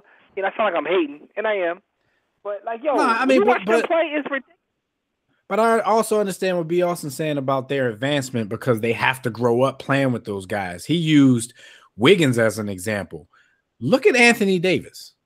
Anthony Davis could make a claim for being a top five. He could make a claim for being a top five player in the Right. NBA He- right I now think- as we don't think it's speak. And I don't think it's questionable. He yeah, but he player. came in raw, you know what I'm saying, not being much in the in the way of an offensive player on the NBA level. Now he's a top 5 scorer in the NBA. so, you know, Yo. it, it depends on how you are with your craft. We look at Kentucky, th- their guards aren't that strong. I think NBA guards will probably eat the the Harrison twins alive. Yeah. And, and they're going to be in the NBA men. at some point. But at as we stand, as we stand right now, yeah, I, I, I don't think so. I, I mean, def, I don't even think they could beat the worst teams in the league in a series. But basketball is that sport where you can't base it on the, the any given day theory because basketball, you can go on a pickup game and and lose to some dudes who just had a better day than you. That's that's probably why they do series, you know, in basketball, um, and on the professional I find professional funny level. how of all of us now, not even intentionally, say series. Shout out to Avery Series. Johnson, who like changed our dialect.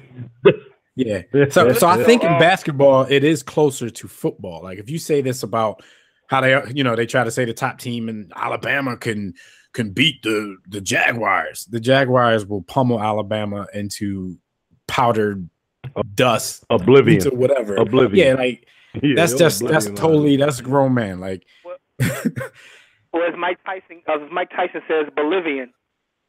But um, yeah, beat them yo, into here's my here's my thing, man. Like I, I, I totally, I totally get you. I just think that it's getting closer as the NBA gets younger. Um, NBA, you know, NCAA trying to do something about that, but you know, I, I would like to see it one day. I, I definitely think they would get pummeled, depending upon who they play. When he talks about making the playoffs, that's just crazy. 'Cause, Yeah, he like tripping with that. Dwyane Wade will kill those guys.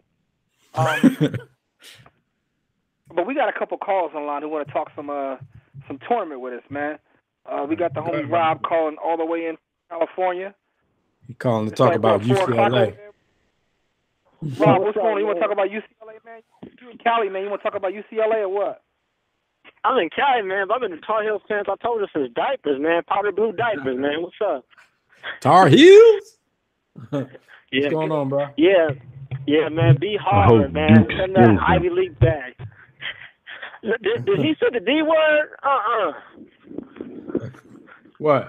Ooh, uh, Uh, but man, yo, yo, yo, speaking of the D word, yo, I would have to say, what y'all think about Alex Okafor? from uh from uh, Uh, Duke. Yeah. I, I like his I like his game. I mean, he's not he's another he's another product of where basketball is because he's not that exceptional to me, but because he plays with against subpar front lines, he looks a lot better than he probably is. But I think he'll be a solid NBA pro. Like I don't I don't see him being you know all star all NBA, but I think he'll be good. I think he'll be a good player at the next level got a little back to the basket game. You can throw it in there and get, you know, 10 points out of that. These dudes these days, man, it's harder to call like who's gonna be what on the next level, I think, than it than it has been before. Um I, I it is is really hard to call for me because you think back to uh a cat like what's the dude name? I mean, who, who used to play for Arizona and Um, which number two pick Oh, of the Simon? draft. No, no, no, no. Uh, more recent, the dude who played for the Timberwolves. Damn, I'm having a brain fart. I think his name is Williams. Oh, Derrick Williams. Eric Williams? There, yeah, Derrick Derrick Williams. Williams. When I was, I was real big on him coming out. I thought he was going to be nice, and it's like you, you get to the league, and it's like everything you saw in college, he just, he just And here's the faded thing, into right? the Yo, bunch. and he's not There was he's not terrible, Dev. He just No, he's not a star. terrible, but Rob, Rob. I, I saw him like when when he played at Arizona. I thought he was going to be a star in the NBA. I thought he was going to be a here's star. the thing, right about like, about basketball. Like when you move levels, man, it's all about how much you work at your craft, man. Because you got guys who just dominate on a collegiate level, and they get to the pros and they taper off. And you have guys who you know may not have been that dominant of a basketball player, but they are in love with the game and they work on their craft all the time. We talked about Anthony Davis. Anthony Davis, it's so obvious watching him play that he puts work in. And I say that if you Yeah, go he's back a rat. and watch the He's a gym rat. He's a gym rat. I, I, no, I, he I, changed. he changed his complete form. I mean, if you look, look at his shooting form, it's complete. I'm talking about a 180. He completely changed his shooting form from his uh, rookie season until now, and he's such a better shooter, shooting at a higher field goal percentage. He works on his back to the basket moves. Like it's evident that he puts the work in. It's not just the talent. A lot of guys with raw talent, like I said, but it's about what. So it's it's car, it's kind of hard to determine just looking at a college player. You could dominate on the college level and be a complete dud in the NBA. I, I, I, I, I think Beyonce to uh, attracted it. No, you did too We talked about the analytics before. But I think Beyonce attracted that we when he said when he didn't say this, when he said that they're really from high school on up, they're really not working on the fundamentals. They're working on shooting threes and all that. And when come when you come to NBA, you have to we have to have fundamental basketball. And and you people when they can go in college and out outshot and outshine people with their athleticism. When we come to NBA, you gotta work on your fundamental basketballs. I'm gonna get I'm gonna give you all Man, examples. it's I'm only gonna- like three. Rob, Evan Rob. Turner. I, I feel you, Rob. It's only like three teams in the NBA that play fundamental basketball, though. Spurs, Hawks, and someone else. Someone What did you say about Evan Turner? What's- Let him say what were you about to say about Evan Turner? Evan Turner, he got he he had like crazy athleticism coming out of college. I know I know some of y'all y'all mad that you know You're y'all couldn't get John Wall, but you know he had crazy athleticism, terrible fundamentals. He had to go back to Faggot. back to the collegiate level and work on the shot. Wait, you you thought thing with Evan you th- wait you you thought Evan Turner was crazy athletic? I've never thought that. He was all right. He was all right, but you know I'm just saying. Actually, I don't know how much thought- Evan- I don't know. besides his jump shot, I thought Evan Turner's fundamentals were pretty high, con- considering what comes out of college every year. Like John Wall was a freak of nature. He's the type of dude, you know, Yeah, he had to get his here's my thing with fundamentals straight. John Wall is uh-huh. less skilled. When he came in the league, John Wall is less skilled than at least three of the people in War Room Sports Company, and we've seen that up close and personal. He's a freak. He is athleticism personified. He had no skill. But here's my thing. He couldn't even To, to your point, to your uh, like Evan Turner, right? I watched Evan Turner play this year in Boston, and Evan Turner has like spurts where he's amazing. He doesn't seem to be getting like five, he can barely dunk. his game. His game doesn't seem to be progressing in, in a way you would want someone to progress, like you know, with years in the league. Like the one thing that separates the good from the great players and like the legends from the great are how their game gets better every year. People think that you know Michael Jordan just came in the league was Michael Jordan from day one. He absolutely was not. Same with Magic, same with Larry Bird, same with Hakeem. Uh, these guys, you would watch them play. They'd be ten years in and would add stuff to their game. And that's what separates, like you know, the legends from the great players, and, and also the good from the great. So you really can't tell watching college basketball who's willing to go like put that extra work in. And you know that, that's why it's so difficult to draft because you really can't like there's you can have them run all you want to. What, what do they run in a forty? How much can they bench press? But you can't really measure their heart. That, that yo, that's true. Cause I, cause I was kind of skeptical about Kyrie Irving when he was coming out, and he was first overall. I'm like, you know, Why? I mean, is Duke gonna be, be because he got hurt? He was out for eight games, you know. So I, Oh, okay. yeah, cause Look at so, a player so like kind of. Steph Curry. No one, no one knew Steph Curry was going to blossom into what he is now. I know, or or or or the or the boy from um from Portland. What's his name? Damian Um, Lillard. Damian Lillard. Damian Yeah, Lillard. Lillard. That cat. Yeah, Yeah, I feel you, my man. man So who you got winning the tournament before we get you out of here? Who you got winning the tournament? Oh man, um, Don't say the heels. oh, I got one tournament. yeah. Shoot. Uh, I don't want to say Notre Dame because I want to get Frank get a wet dream, but I'm gonna say Arizona. Okay, that that's actually No, a no, good no, pick. Virginia. No, my no, fault. I no, take no, that no, back. nothing about Virginia. Kentucky. Oh, you take that back, Virginia. Virginia, Virginia. Hold on a second. Let's tell you about Kentucky. They play in a weak division anyway. The SEC is just a, a skin mark of college basketball. They whack. Damn. Come on now. All right, hey, well, Rob, man, thanks for your call, man. You better get in front of a TV, TNT. The Tar Heels about to tip off right now against Harvard. So, uh, good luck to your bunch, and we'll talk to you next week. All right. All right, peace, man. Salute. All right. All right, let's get to the homie man. Phil from Tissue in the Tape. Phil, what's What going on, man? Issue when I ain't know what's good, man. Hey, man, I heard What's up, I heard man? y'all talking greasy about about the alma mater, yo. Y'all gonna good, get though. that win today? oh, oh yeah, we we about we about to uh we about to look like um Apollo Creed against uh Drago, man. It's, it's about to get ugly in that joint, man. They going they gonna have to get the defibrillators out early. But It's all um, good, man. yeah. I ain't greasy. You know what I say every time because we know how they do to MEAC anyway. Whoever the representative is is going to get the 16th seed. They're going to go against the best team in the country. We might even have to play in the little playing game that they're trying to act like is a tournament game these days. But yeah, at least y'all represent. Like I said, the last time my school was in it was 92. I wasn't even in college. I wasn't even thinking about college in 92. I wasn't even at high school in '92. Yes. so at least y'all, at least y'all represent, man. Because for real, for real, y'all weren't supposed to make it this year. Like No, not even man, in we, the we meet. hustled hard, man. We we hustled They hard. got- they had a losing record going into the joint. So, I Yeah, they got and um, they then got hot in the playoff, uh, tournament the game, MEAC tournament. They, yeah, they seventeen and seventeen. So it's you know it is what it is. But yeah, man, it's it's crazy though the the, the how the tournament goes and like I, I got a comment though on Kentucky. I, I'm I'm kind of with Jim, man. Kentucky is freakish. I, I don't think they could win. You know, they can make a playoff spot in the Eastern Conference. I'm not ready to go because I look at somebody like Mil, like Milwaukee who who has a you know they're struggling, but Yeah, they they're in the sixth There's seed. no way in the world Kentucky could beat Milwaukee on any given Sunday, and the, Yeah. the Bucks are going to actually be be tough. You know, you know, coming up. Giannis, They- they Giannis, will. Giannis will give Kentucky work. My man Giannis ain't no joke. Oh, so so so seriously, Greek Freak is not is not playing Mm-hmm. around. Yo, But my man can touch the ceiling without jumping. But I will. It, it, it, I, I was looking at it. I was looking at a thing.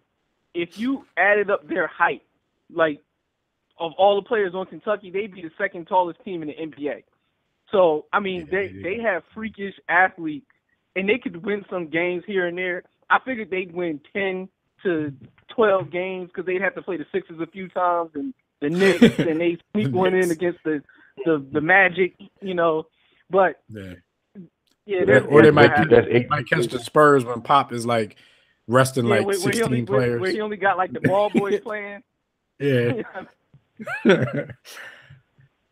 yeah. but yeah, I mean, that's and what I the said. game is- Basketball, basketball is that sport though, where you know what I'm saying. I've I've been in the gym before and and beat a bunch of guys who were supposed to be unbeatable in the gym. Like that happens in basketball. Like I said, it- it's more unlikely to happen in football. It's like it's like But when Larry Brown was hitting that. Team. He was hitting that G money talking about the playoffs though. Oh yeah, yeah, man. It, it, it- but it's like when the college dudes beat the dream team, and then the dream team was like, oh Right. no, that's not that's never happening again. And then they, you know, they realized they was the dream Then team. they beat and him shut by 72. Yeah. Yeah, So, I mean, they beat him that's so bad the second time though that I don't know if you can count that first one because because if you beat them that bad the second time, then obviously they weren't taking Yeah, y'all it- seriously. That, that's that's when- that's when you gotta uh that's when you gotta push reset on the uh on the Xbox. So, you know, Yeah, they they But, took the um, cartridge out and blew it, make sure the game was working right. Like let- we gotta we gotta run this back. yo, what's wrong with you, yo? But mm-hmm. it, that that's another thing too. I wanted to I wanted to ask y'all about like like we were t- y'all were talking about the fundamentals. Like the reason why they don't have fundamentals or they they they don't play with fundamentals because it doesn't make Sports Center. We live in a society Right. that's Right. Sports Center is everything. Like being on those highlights are everything. It's and one. You know what I mean, so if you can't if you can't be on an and one mixtape or on the Sports Center top ten, they not doing it. You know, you know what I mean? So And, Exactly. and I and I want to be real clear. I want to be real clear too, Phil. Today's players are highly skilled. So Oh, there's no a big doubt. difference between between being And crazy athletic. and fundamentally sound. Yeah, the, the the skill level is higher, and the athleticism is higher, but the fundamentals of the game, like basketball, is actually supposed to be played closer to the way soccer is played with the movement of the ball. Like you got to pass, you have to move Yeah. the ball. The ball moves faster than the man. These dudes will hold on to that thing and dribble the air out the rock to get their And- own shot. Everybody wants to be. Michael So- Jordan. When when they uh-huh. realized you could win a championship without a dominant center, they was like, "Oh, that, I'm I'm not seven foot. I'm six two. I'm six five. I can do that. That's good. I'll just I'll just hold the ball, Hey, shoot Phil. forty times, try to get And then a lot of them real, a lot of them find out the hard way that they're not Michael Jordan. And then exactly. Yo, I think it's something else. I, I think I think when they see Michael Jordan, it's not about like winning championships. It's like, oh, oh, you can get a Nike deal, Gatorade deal, you can be That too. rich. I That know too. if I get, think- know, it's- if I get enough highlights.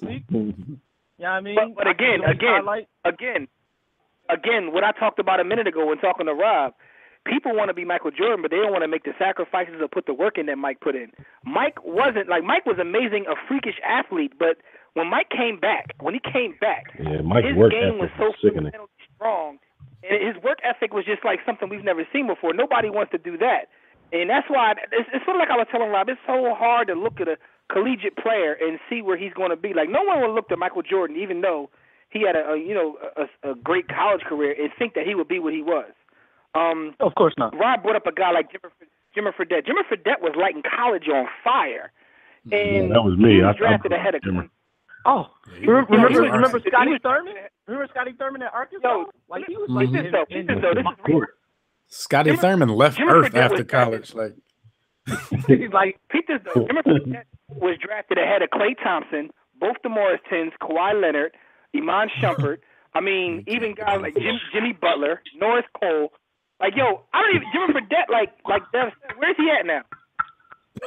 I can, I he just my bench. my But no, Scotty Thurman is a great, great uh, uh analogy because Scotty Thurman basically left Earth after, you know, after his college career. He was like, he was like Miles Curtis Bryant. Blow when we couldn't find Kurtis Blow for like 10, 15 years. Like, not, not Kurtis Blow, you know.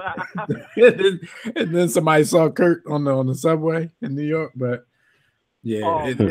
He's like, Jimmy, like, Jimmy, like, Jimmer, Jimmy- Jimmer Fredette plays. Uh, he plays with uh with the unibrow.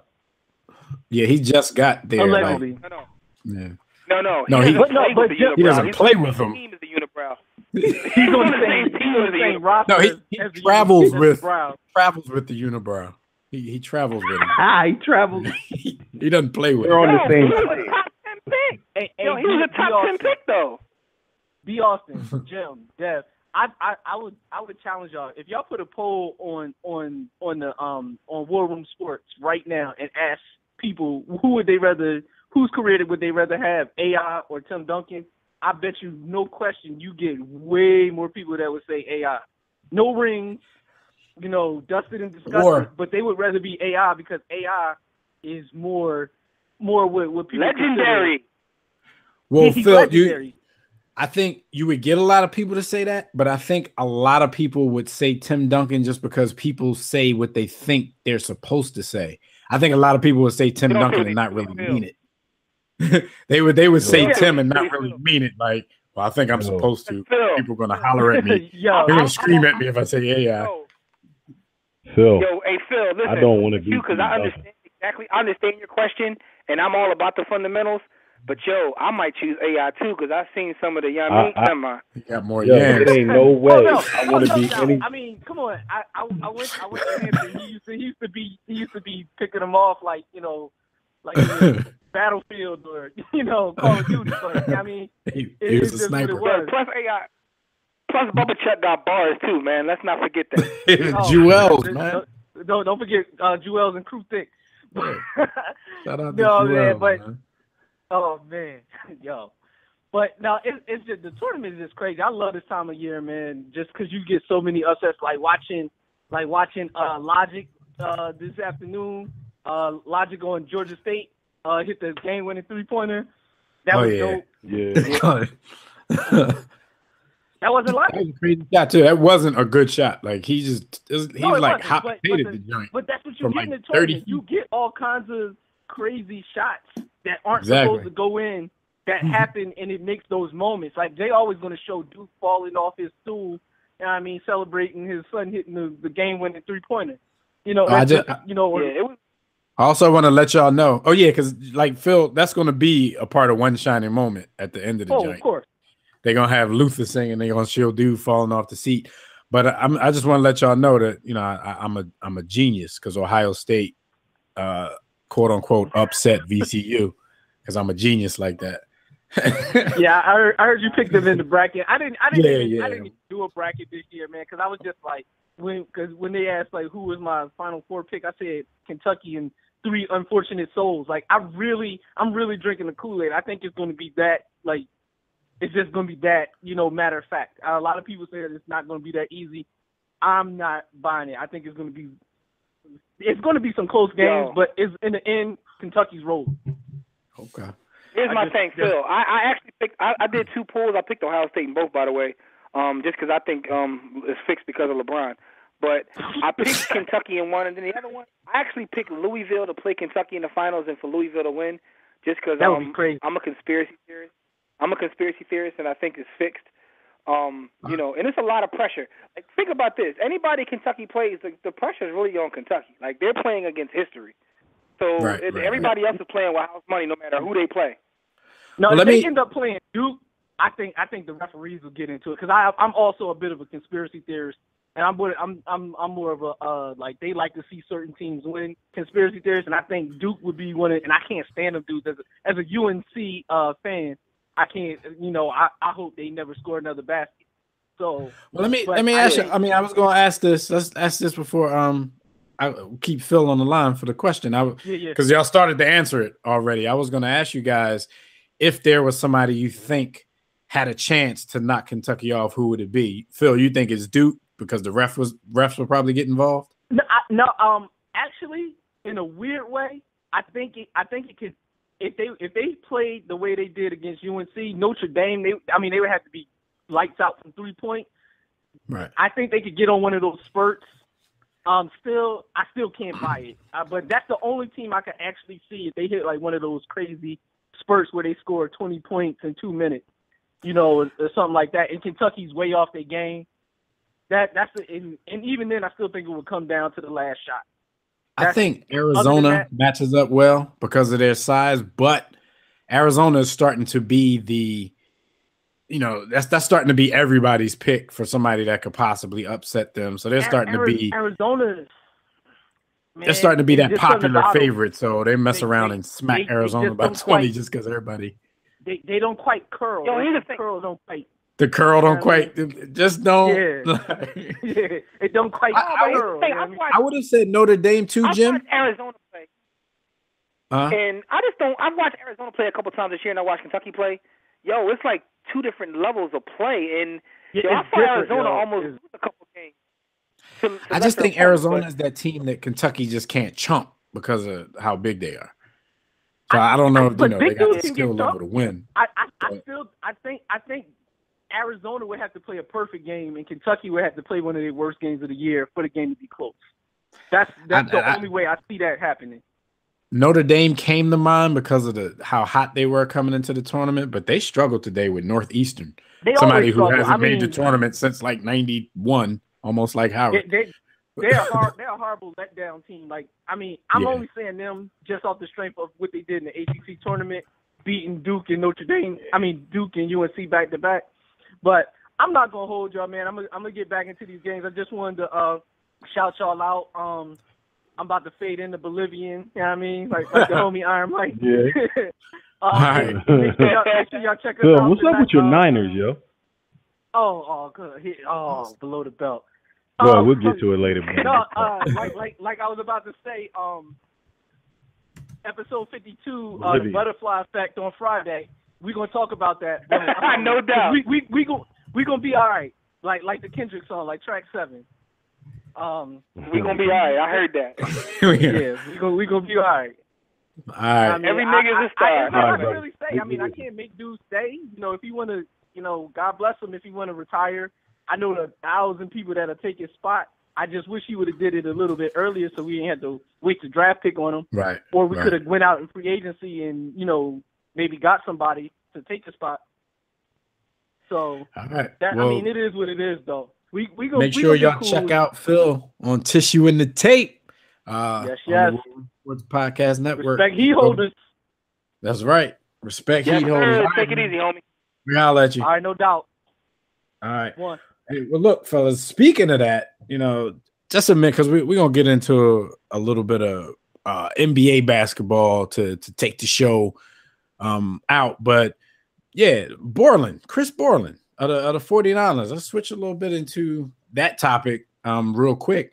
What what are your guys' thoughts on that? Because like Phil was saying, like as far as the Niners go, you know, it would be nice. I mean, it is the off season. The the actual NFL quote unquote calendar season just started, but it's like you have the the blow of Patrick Willis leaving, and this is the guy where you're like, okay, we're okay with that because he filled in for him last year, and this guy might end up being a star. But then he's he has concerns for he- head trauma and and his future health. So, what do you guys think about his decision? I wonder whether the Oh. medical uh, team over in San Fran has like data or some studies that no one else has because Cats is like, yo, I don't even want to play football no more. Um, maybe they got, you know how that special said there was that one doctor for that one team and everybody ignored him. Maybe they got like, like there's somebody over there like that giving out new data, and new information. Um, we know that that's an issue, but the bottom line is there's always going to be people willing to take that chance to you know play a sport that they love for a living. I think it's for the Niners. Phil just hit on it. It's unfortunate of his timing, but something must have happened. And if he was struggling with this one way or another, he probably shouldn't have been on the field anyway. You know what I mean? Because it's obvious, like he, this, this couldn't have been like an overnight decision. So something he probably was struggling with.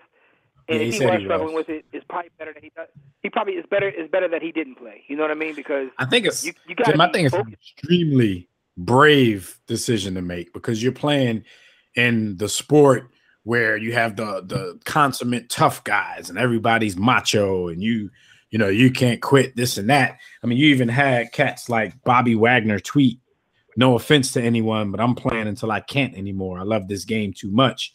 Um, but what his fears and his concerns, I mean, it's real. He sees a lot of uh, former NFL players walking around now with CTE or you know other uh, brain ailments, and they're just not the yeah they're, they're not the, the same people, and the, the qual- quality of life is is just not there. And then you have the ones uh, rest in peace to Seau and Andre Waters who committed suicide because of this kind of stuff. So I, I think it's a brave decision because of the the sport that he's playing in, but um he basically said, man, he, he can't put a price on his life. And I think this is a dude who probably was in for a, a pretty big payday because he was going to have to Yeah, um, yeah. basically fill in for, for Patrick season. Willis. He was only on his contract. He was only scheduled to make like five hundred and forty thousand dollars this season, and I think that's something they may have renegotiated with him before the start of the season. But he said, "I can't put a price on my life, and it's just too risky." So, shout out to him. There, there's a man. There's a man I feel who has who recognizes that he has options.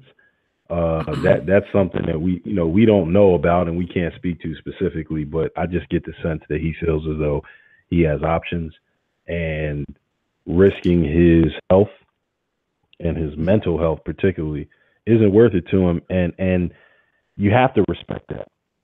I do feel as though the awareness about the mental risks of football and CTE and just the awareness that's been in the media uh, created a climate where it's a bit more friendly for him to do this. Had he done this 10 years ago and definitely 15 years ago, He'd been he'd have got killed. He'd have been Mhm. killed. He'd have been ridiculed. Yeah, but now with the understanding of what head trauma, you know, causes, um, you know, people people have to respect this young man's um, ability to give up a game that you know most of us grow grew up dreaming of playing, and he had that opportunity, but it, it's not worth his health. So I, I, I respect his decision and uh, and and applaud him. on the about the data that y'all asked about Phil in, in the chat room. He says it's the same data, but he actually read it. Other guys probably just didn't read it. Uh, I know Bobby Wagner That's didn't good read point. it the way he talking. All right, so we, we just Bobby wanted to um Bobby talk Wagner about that real quick. family, That's all. I know um B Austin had plans and you know I might uh join him in the conversation. You know, we were gonna talk about this on War Room Sports TV. So look out for that. If we do, we'll definitely, you know, spread it around and let you guys know that we we had that conversation and get you guys to watch. But before we uh talk about a few subjects, a couple of subjects in the last five minutes or so in NBA basketball, I just wanted to give everybody the stat of the week. And the stat of the week uh is in the NBA and it's about Anthony Davis and a historic stat line that he put up, albeit in a loss, a 118 111 loss in double overtime to the Denver Nuggets uh, earlier in the week.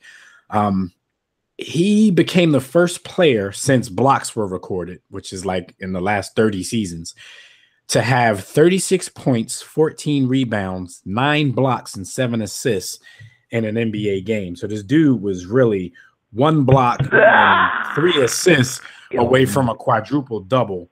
But he was the first player to have at least 36, 14, nine blocks, and seven assists in the game. He also became the second player in NBA history to score more than 30 points, grab more than 10 rebounds, block eight shots, and record seven assists. Uh, Hall of Famer David Robinson actually did it twice. So shout out to the Admiral. Shout out to Anthony Davis. I think we're about to be giving him another shout out when Jim get us into this basketball conversation. But that dude is quickly Video becoming a scary beast. Scary beast. Yeah, He like no doubt. let's let's talk some basketball real quick though. And, uh, the basketball talk is brought to you by Fanatics. For the best in your favorite team's merchandise and apparel, shop Fanatics. Shopping Fanatics is easy.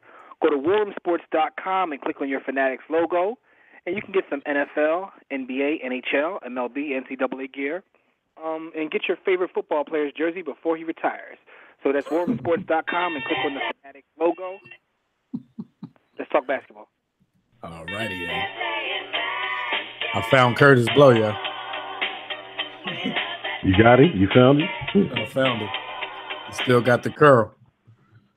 Yo, uh, player of the week, Kyrie Irving and the unibrow, Anthony Davis. Um, I actually watched the Pelicans play. Um, I got a theory about watching them Fly play, by the Pelicans. But these two are the player, these two are uh, the players of the week. Dev, what's their stats?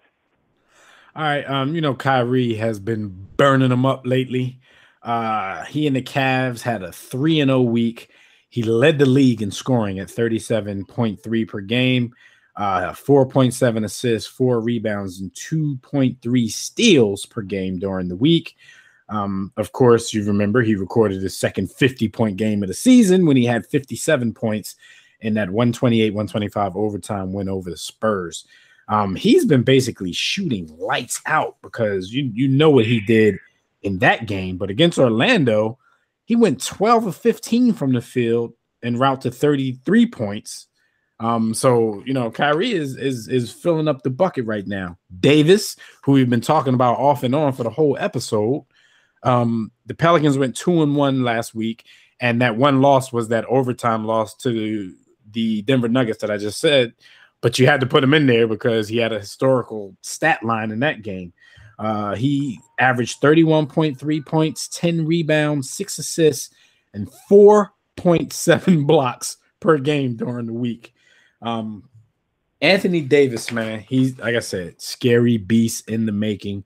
Uh, I gave you the stats for the Denver game, but against Milwaukee, On March 9th, he had 43 points, 10 rebounds, six assists, and two blocks and a win over Milwaukee.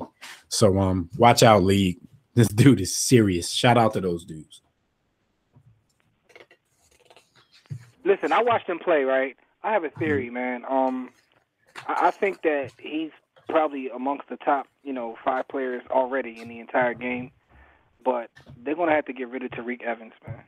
Like, yo, I feel like there's a little bit of jealousy in watching them play. Tyreke be There's gunning. several times on the pick. and roll. Yo, it's several times on the pick and roll where like like he's open and he don't want to give him the ball. Like you just don't want to give him the ball. And I don't I can't see any other reason other than the fact that you know that's his team at this point. Who's, who's not? Who's not? Who's not giving him the ball on the screen and roll? Uh, your man Freaky Evans, Ricky. man. And I think I think I think Ricky still wants to be like Yeah. that guy. Like you know, as as a rookie, he was nice and. Like you know, I, I don't know this to be fact. I don't know their relationship, but like watching body language, yo, I don't think they get along, and like so they need to get him a point guard. But this dude is, is definitely amazing. His entire shooting form, like I said, I was I was watching that. Um, Yo, someone, he got at a nice game somewhere. I'm right now. find it. He got a nice I'm little J. to find it. But, it was a coach that demonstrated that he changed his entire form Right. um as since the rookie till now. He used to shoot with the ball like, you know, towards his like chest. Now he's brought it up and has a perfect form and has Right. done amazing things for him. Um And they used to say it used to be too low, so the ball used to get into his vision, and he couldn't see the basket, and he was bricklaying. Now it's like over his head never- a little bit. Yeah, and now his moves and, and on defense he's a beast. Oh, he plays both sides of the ball. So he's he's, he's a scary talent, man. But they they definitely got to get another guard. I'm you know I don't know this to be fact, but watching the game, I saw it a couple times. They almost lost against the Bucks the other night because he didn't want to give him the ball. It's like yo, Anthony Davis hit a shot, right, and then the Bucks scored. The Bucks had the ball, like the the actual Pelicans had the ball. And they could have iced the game with the basket. He like waved like he had a pick and roll, had Anthony Davis wide open and didn't give him the ball. He did it several times throughout the game when I was watching. I'm like, why is he not giving him the ball? yeah. His his first step is crazy too. His first step got mental health issues. Um, scary beast, man. That's all I'm saying. He's he's young, man. He's like 21. He's get he's getting better. Like think about that prospect, Yo. man. He's getting better. Crazy because everybody just like wrote it off like, yeah, this uh, OKC got this playoff spot, and they and they and they might get it, but the Pelicans, are, uh, yeah, you know, putting pressure on them, man. Like, you know, it's it's crazy, man. It's crazy. It's gonna be it's, the the West is just crazy. To think like if you were to put yo if you put them in the East. Anyway, with all that being said, man, his prospects are crazy. His upside is crazy, and you know I like to see players like him who develop their game because he wasn't this coming in, but you can see the work has been put in. So it's, it's good to see the work being put in, and him to reap the benefits of it. Hey, well, Jim, let's talk about that playoff spot though, because we, you know, that that other thing, that, that's we could talk about that. We can that that's not time sensitive. So let's talk about that A spot, man. Who do you fellas think? You know, because I know you just said like everybody just chalked it up as if the OKC was going to get it. Let's say with you know about 15 games left in the season, who who would you who would you pick to get it at this point? And even though I talked all that trash, I'm going to say OKC, um, just because of the experience. Just because of the experience, like But you wouldn't be OKC has surprised. Experience on their- but I wouldn't be surprised if the Pelicans do because, like, like I don't think they even realize how good they can be. That that's that's what kind of team the Pelicans are. Like they're on they're on the upswing. So I wouldn't See, be surprised, but The difference, Jim, is the Pelicans don't have the league MVP coming back for the final stretch. And that's where it's gonna That's that's where it's gonna separate those dudes. Because OKC's been battling for this eighth spot for so long, and you know, a lot of it they've done without Kevin Durant. So they have the luxury of him coming back and actually helping um, Russell Westbrook out, even though Ibaka went down again. So you know, even if they end up getting it, it's going to be the same problem they had going into the playoffs last year. So it's it's it's very Yo. interesting. B, who you think is going to get it?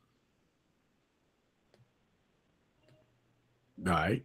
but if you Golden State, right? If you Golden State, you you never really you rarely get the one seed if ever. You finally turn it around. Teams on the upswing, you get the one seed, and then you got like got to play OKC. It's That's kind of crazy. it is a shame, man. It's a shame. It's a shame. Because I'm I stick by, like- not saying they if if they going into the playoffs fairly healthy, Jim, like I stick by my remember, I predicted them to win the NBA title, not thinking, Yeah. you know, my whole thing was I, I thought both of those guys were going to be back, not for the whole season. I knew that they were going to miss some early games in the season, but you know, for Kevin Durant, things keep reoccurring with that foot, and he's sitting out a few games here and there.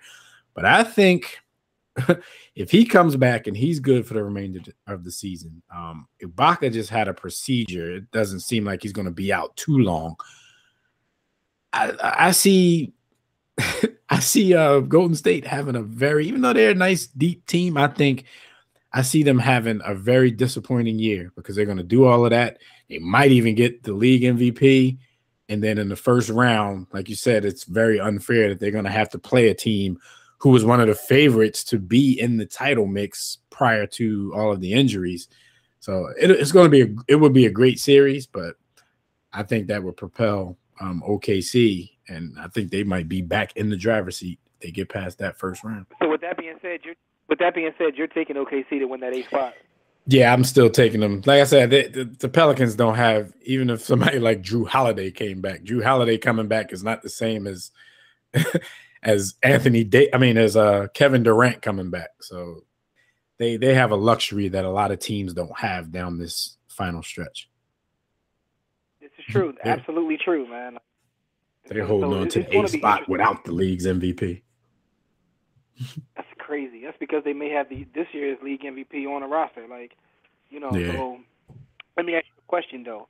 Um, MVP race as it goes right now, because I saw a lot of people who, um, you know, were knocking James Harden down. They're saying that they don't like, you know, remain up there high in terms of their the standings in the Western Conference. He may be knocked out of the uh, MVP race. What do you think right now about MVP? Um, I don't think it's a standings thing because, as you know, the last time we had this conversation, I had James Harden in the lead. Man, every night I, I think Russell Westbrook is making his case, man. And if they end up getting that ace spot off of these performances that he puts up night in and night out, I think you have to give it to him. But uh, it, I just don't see, you know, the voters are kind of traditionalists. So I don't really see them giving it to somebody that that squeaks in and gets the eighth seed. But I think right now, I think he may have taken the lead over um for for my Yeah, they don't seem particular like ballot. I don't Yeah. know if it's me, but they don't seem to like him either. You know, he don't get the, the lot of people- credit that he deserves, man. They don't seem to like him. So uh, and that and that plays a part in it, believe it or not. They don't seem to like him. Oh yeah, And especially right, when you let the media vote on things. Like, right now, it looks like Harden yeah, may have it, or, or the- even the dude that he said, "Bro, what are you talking about?" and y'all ends tripping, they not gonna vote for him. If they if they got to vote. There you go. Steph Curry, Steph Curry is like everybody loves Steph Curry these days. He's like the go-to guy. Who knows? It'll be interesting, man. But you know, the season is winding down, and we'll be here to talk about it, man. But we definitely have to get out of here now. Thanks for joining us again, the War Room, good people. Shout out to everybody in the chat room, everybody on Facebook, Twitter, on the calls who chimed in. We definitely appreciate it. Those calls we couldn't get to, we apologize. Special thanks to Richard Gilligan and Jamal Green of Retroacting Sports. Talk about that amazing program he has in Philadelphia, the Unsigned Senior Basketball Showcase. Don't forget, uh, hit up our website and go to their website to get more information. Tune in next week, same time, same place, live right here or on demand on the War Room Sports Podcast Network to get a lot of great sports talk. Enjoy March Madness and anything else happening in sports. So until then, enjoy your tournament and your sports week. Check us out, warroomsports.com. You'll find our links for Facebook, Twitter, Instagram, iTunes, everywhere. You'll find right at warroomsports.com. You'll find links for our webcast, Farmers only. War Room Sports TV. our farmers only links as well as our Christian Mingle links. Until next time, everybody, don't accept mediocrity. Be steadfast in the war against ignorance. We'll see you chumps on top.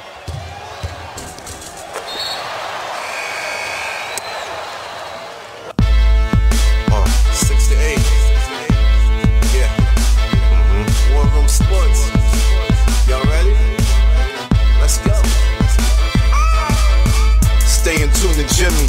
Know the blueprint. Yo. Every Thursday, six to eight, they do this. Shout out to Jazz, PJ, B. Austin, Doc Bay on replay. War Room Sports. dot com. Get that mobile app. If not dial, 323 14 0012. They be going and you sensitive, then oh well. Yeah physical podcast. Let's talk sports. Showtime like magic in the box porch. Listen live, push one to join in. Rip your team or listen for your enjoyment. Hip hop scholars, pit stop and knowledge. Should be in sports credits, I ain't talking college. Five guys, no beef though. Corporate secret, but the streets know. Belafonte, I got a G flow. KC royalty, I'm in beast mode. Two hours, get your game up. Who's the best in sports cast? You better name us. War Room Sports.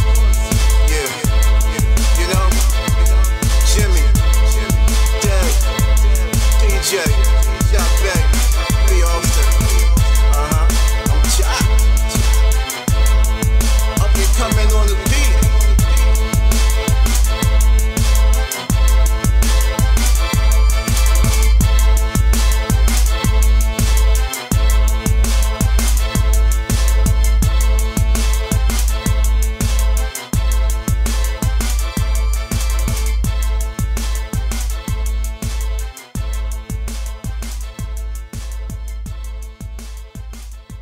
War Room Sports. www.warroomsports.com. What? Ain't no more to it.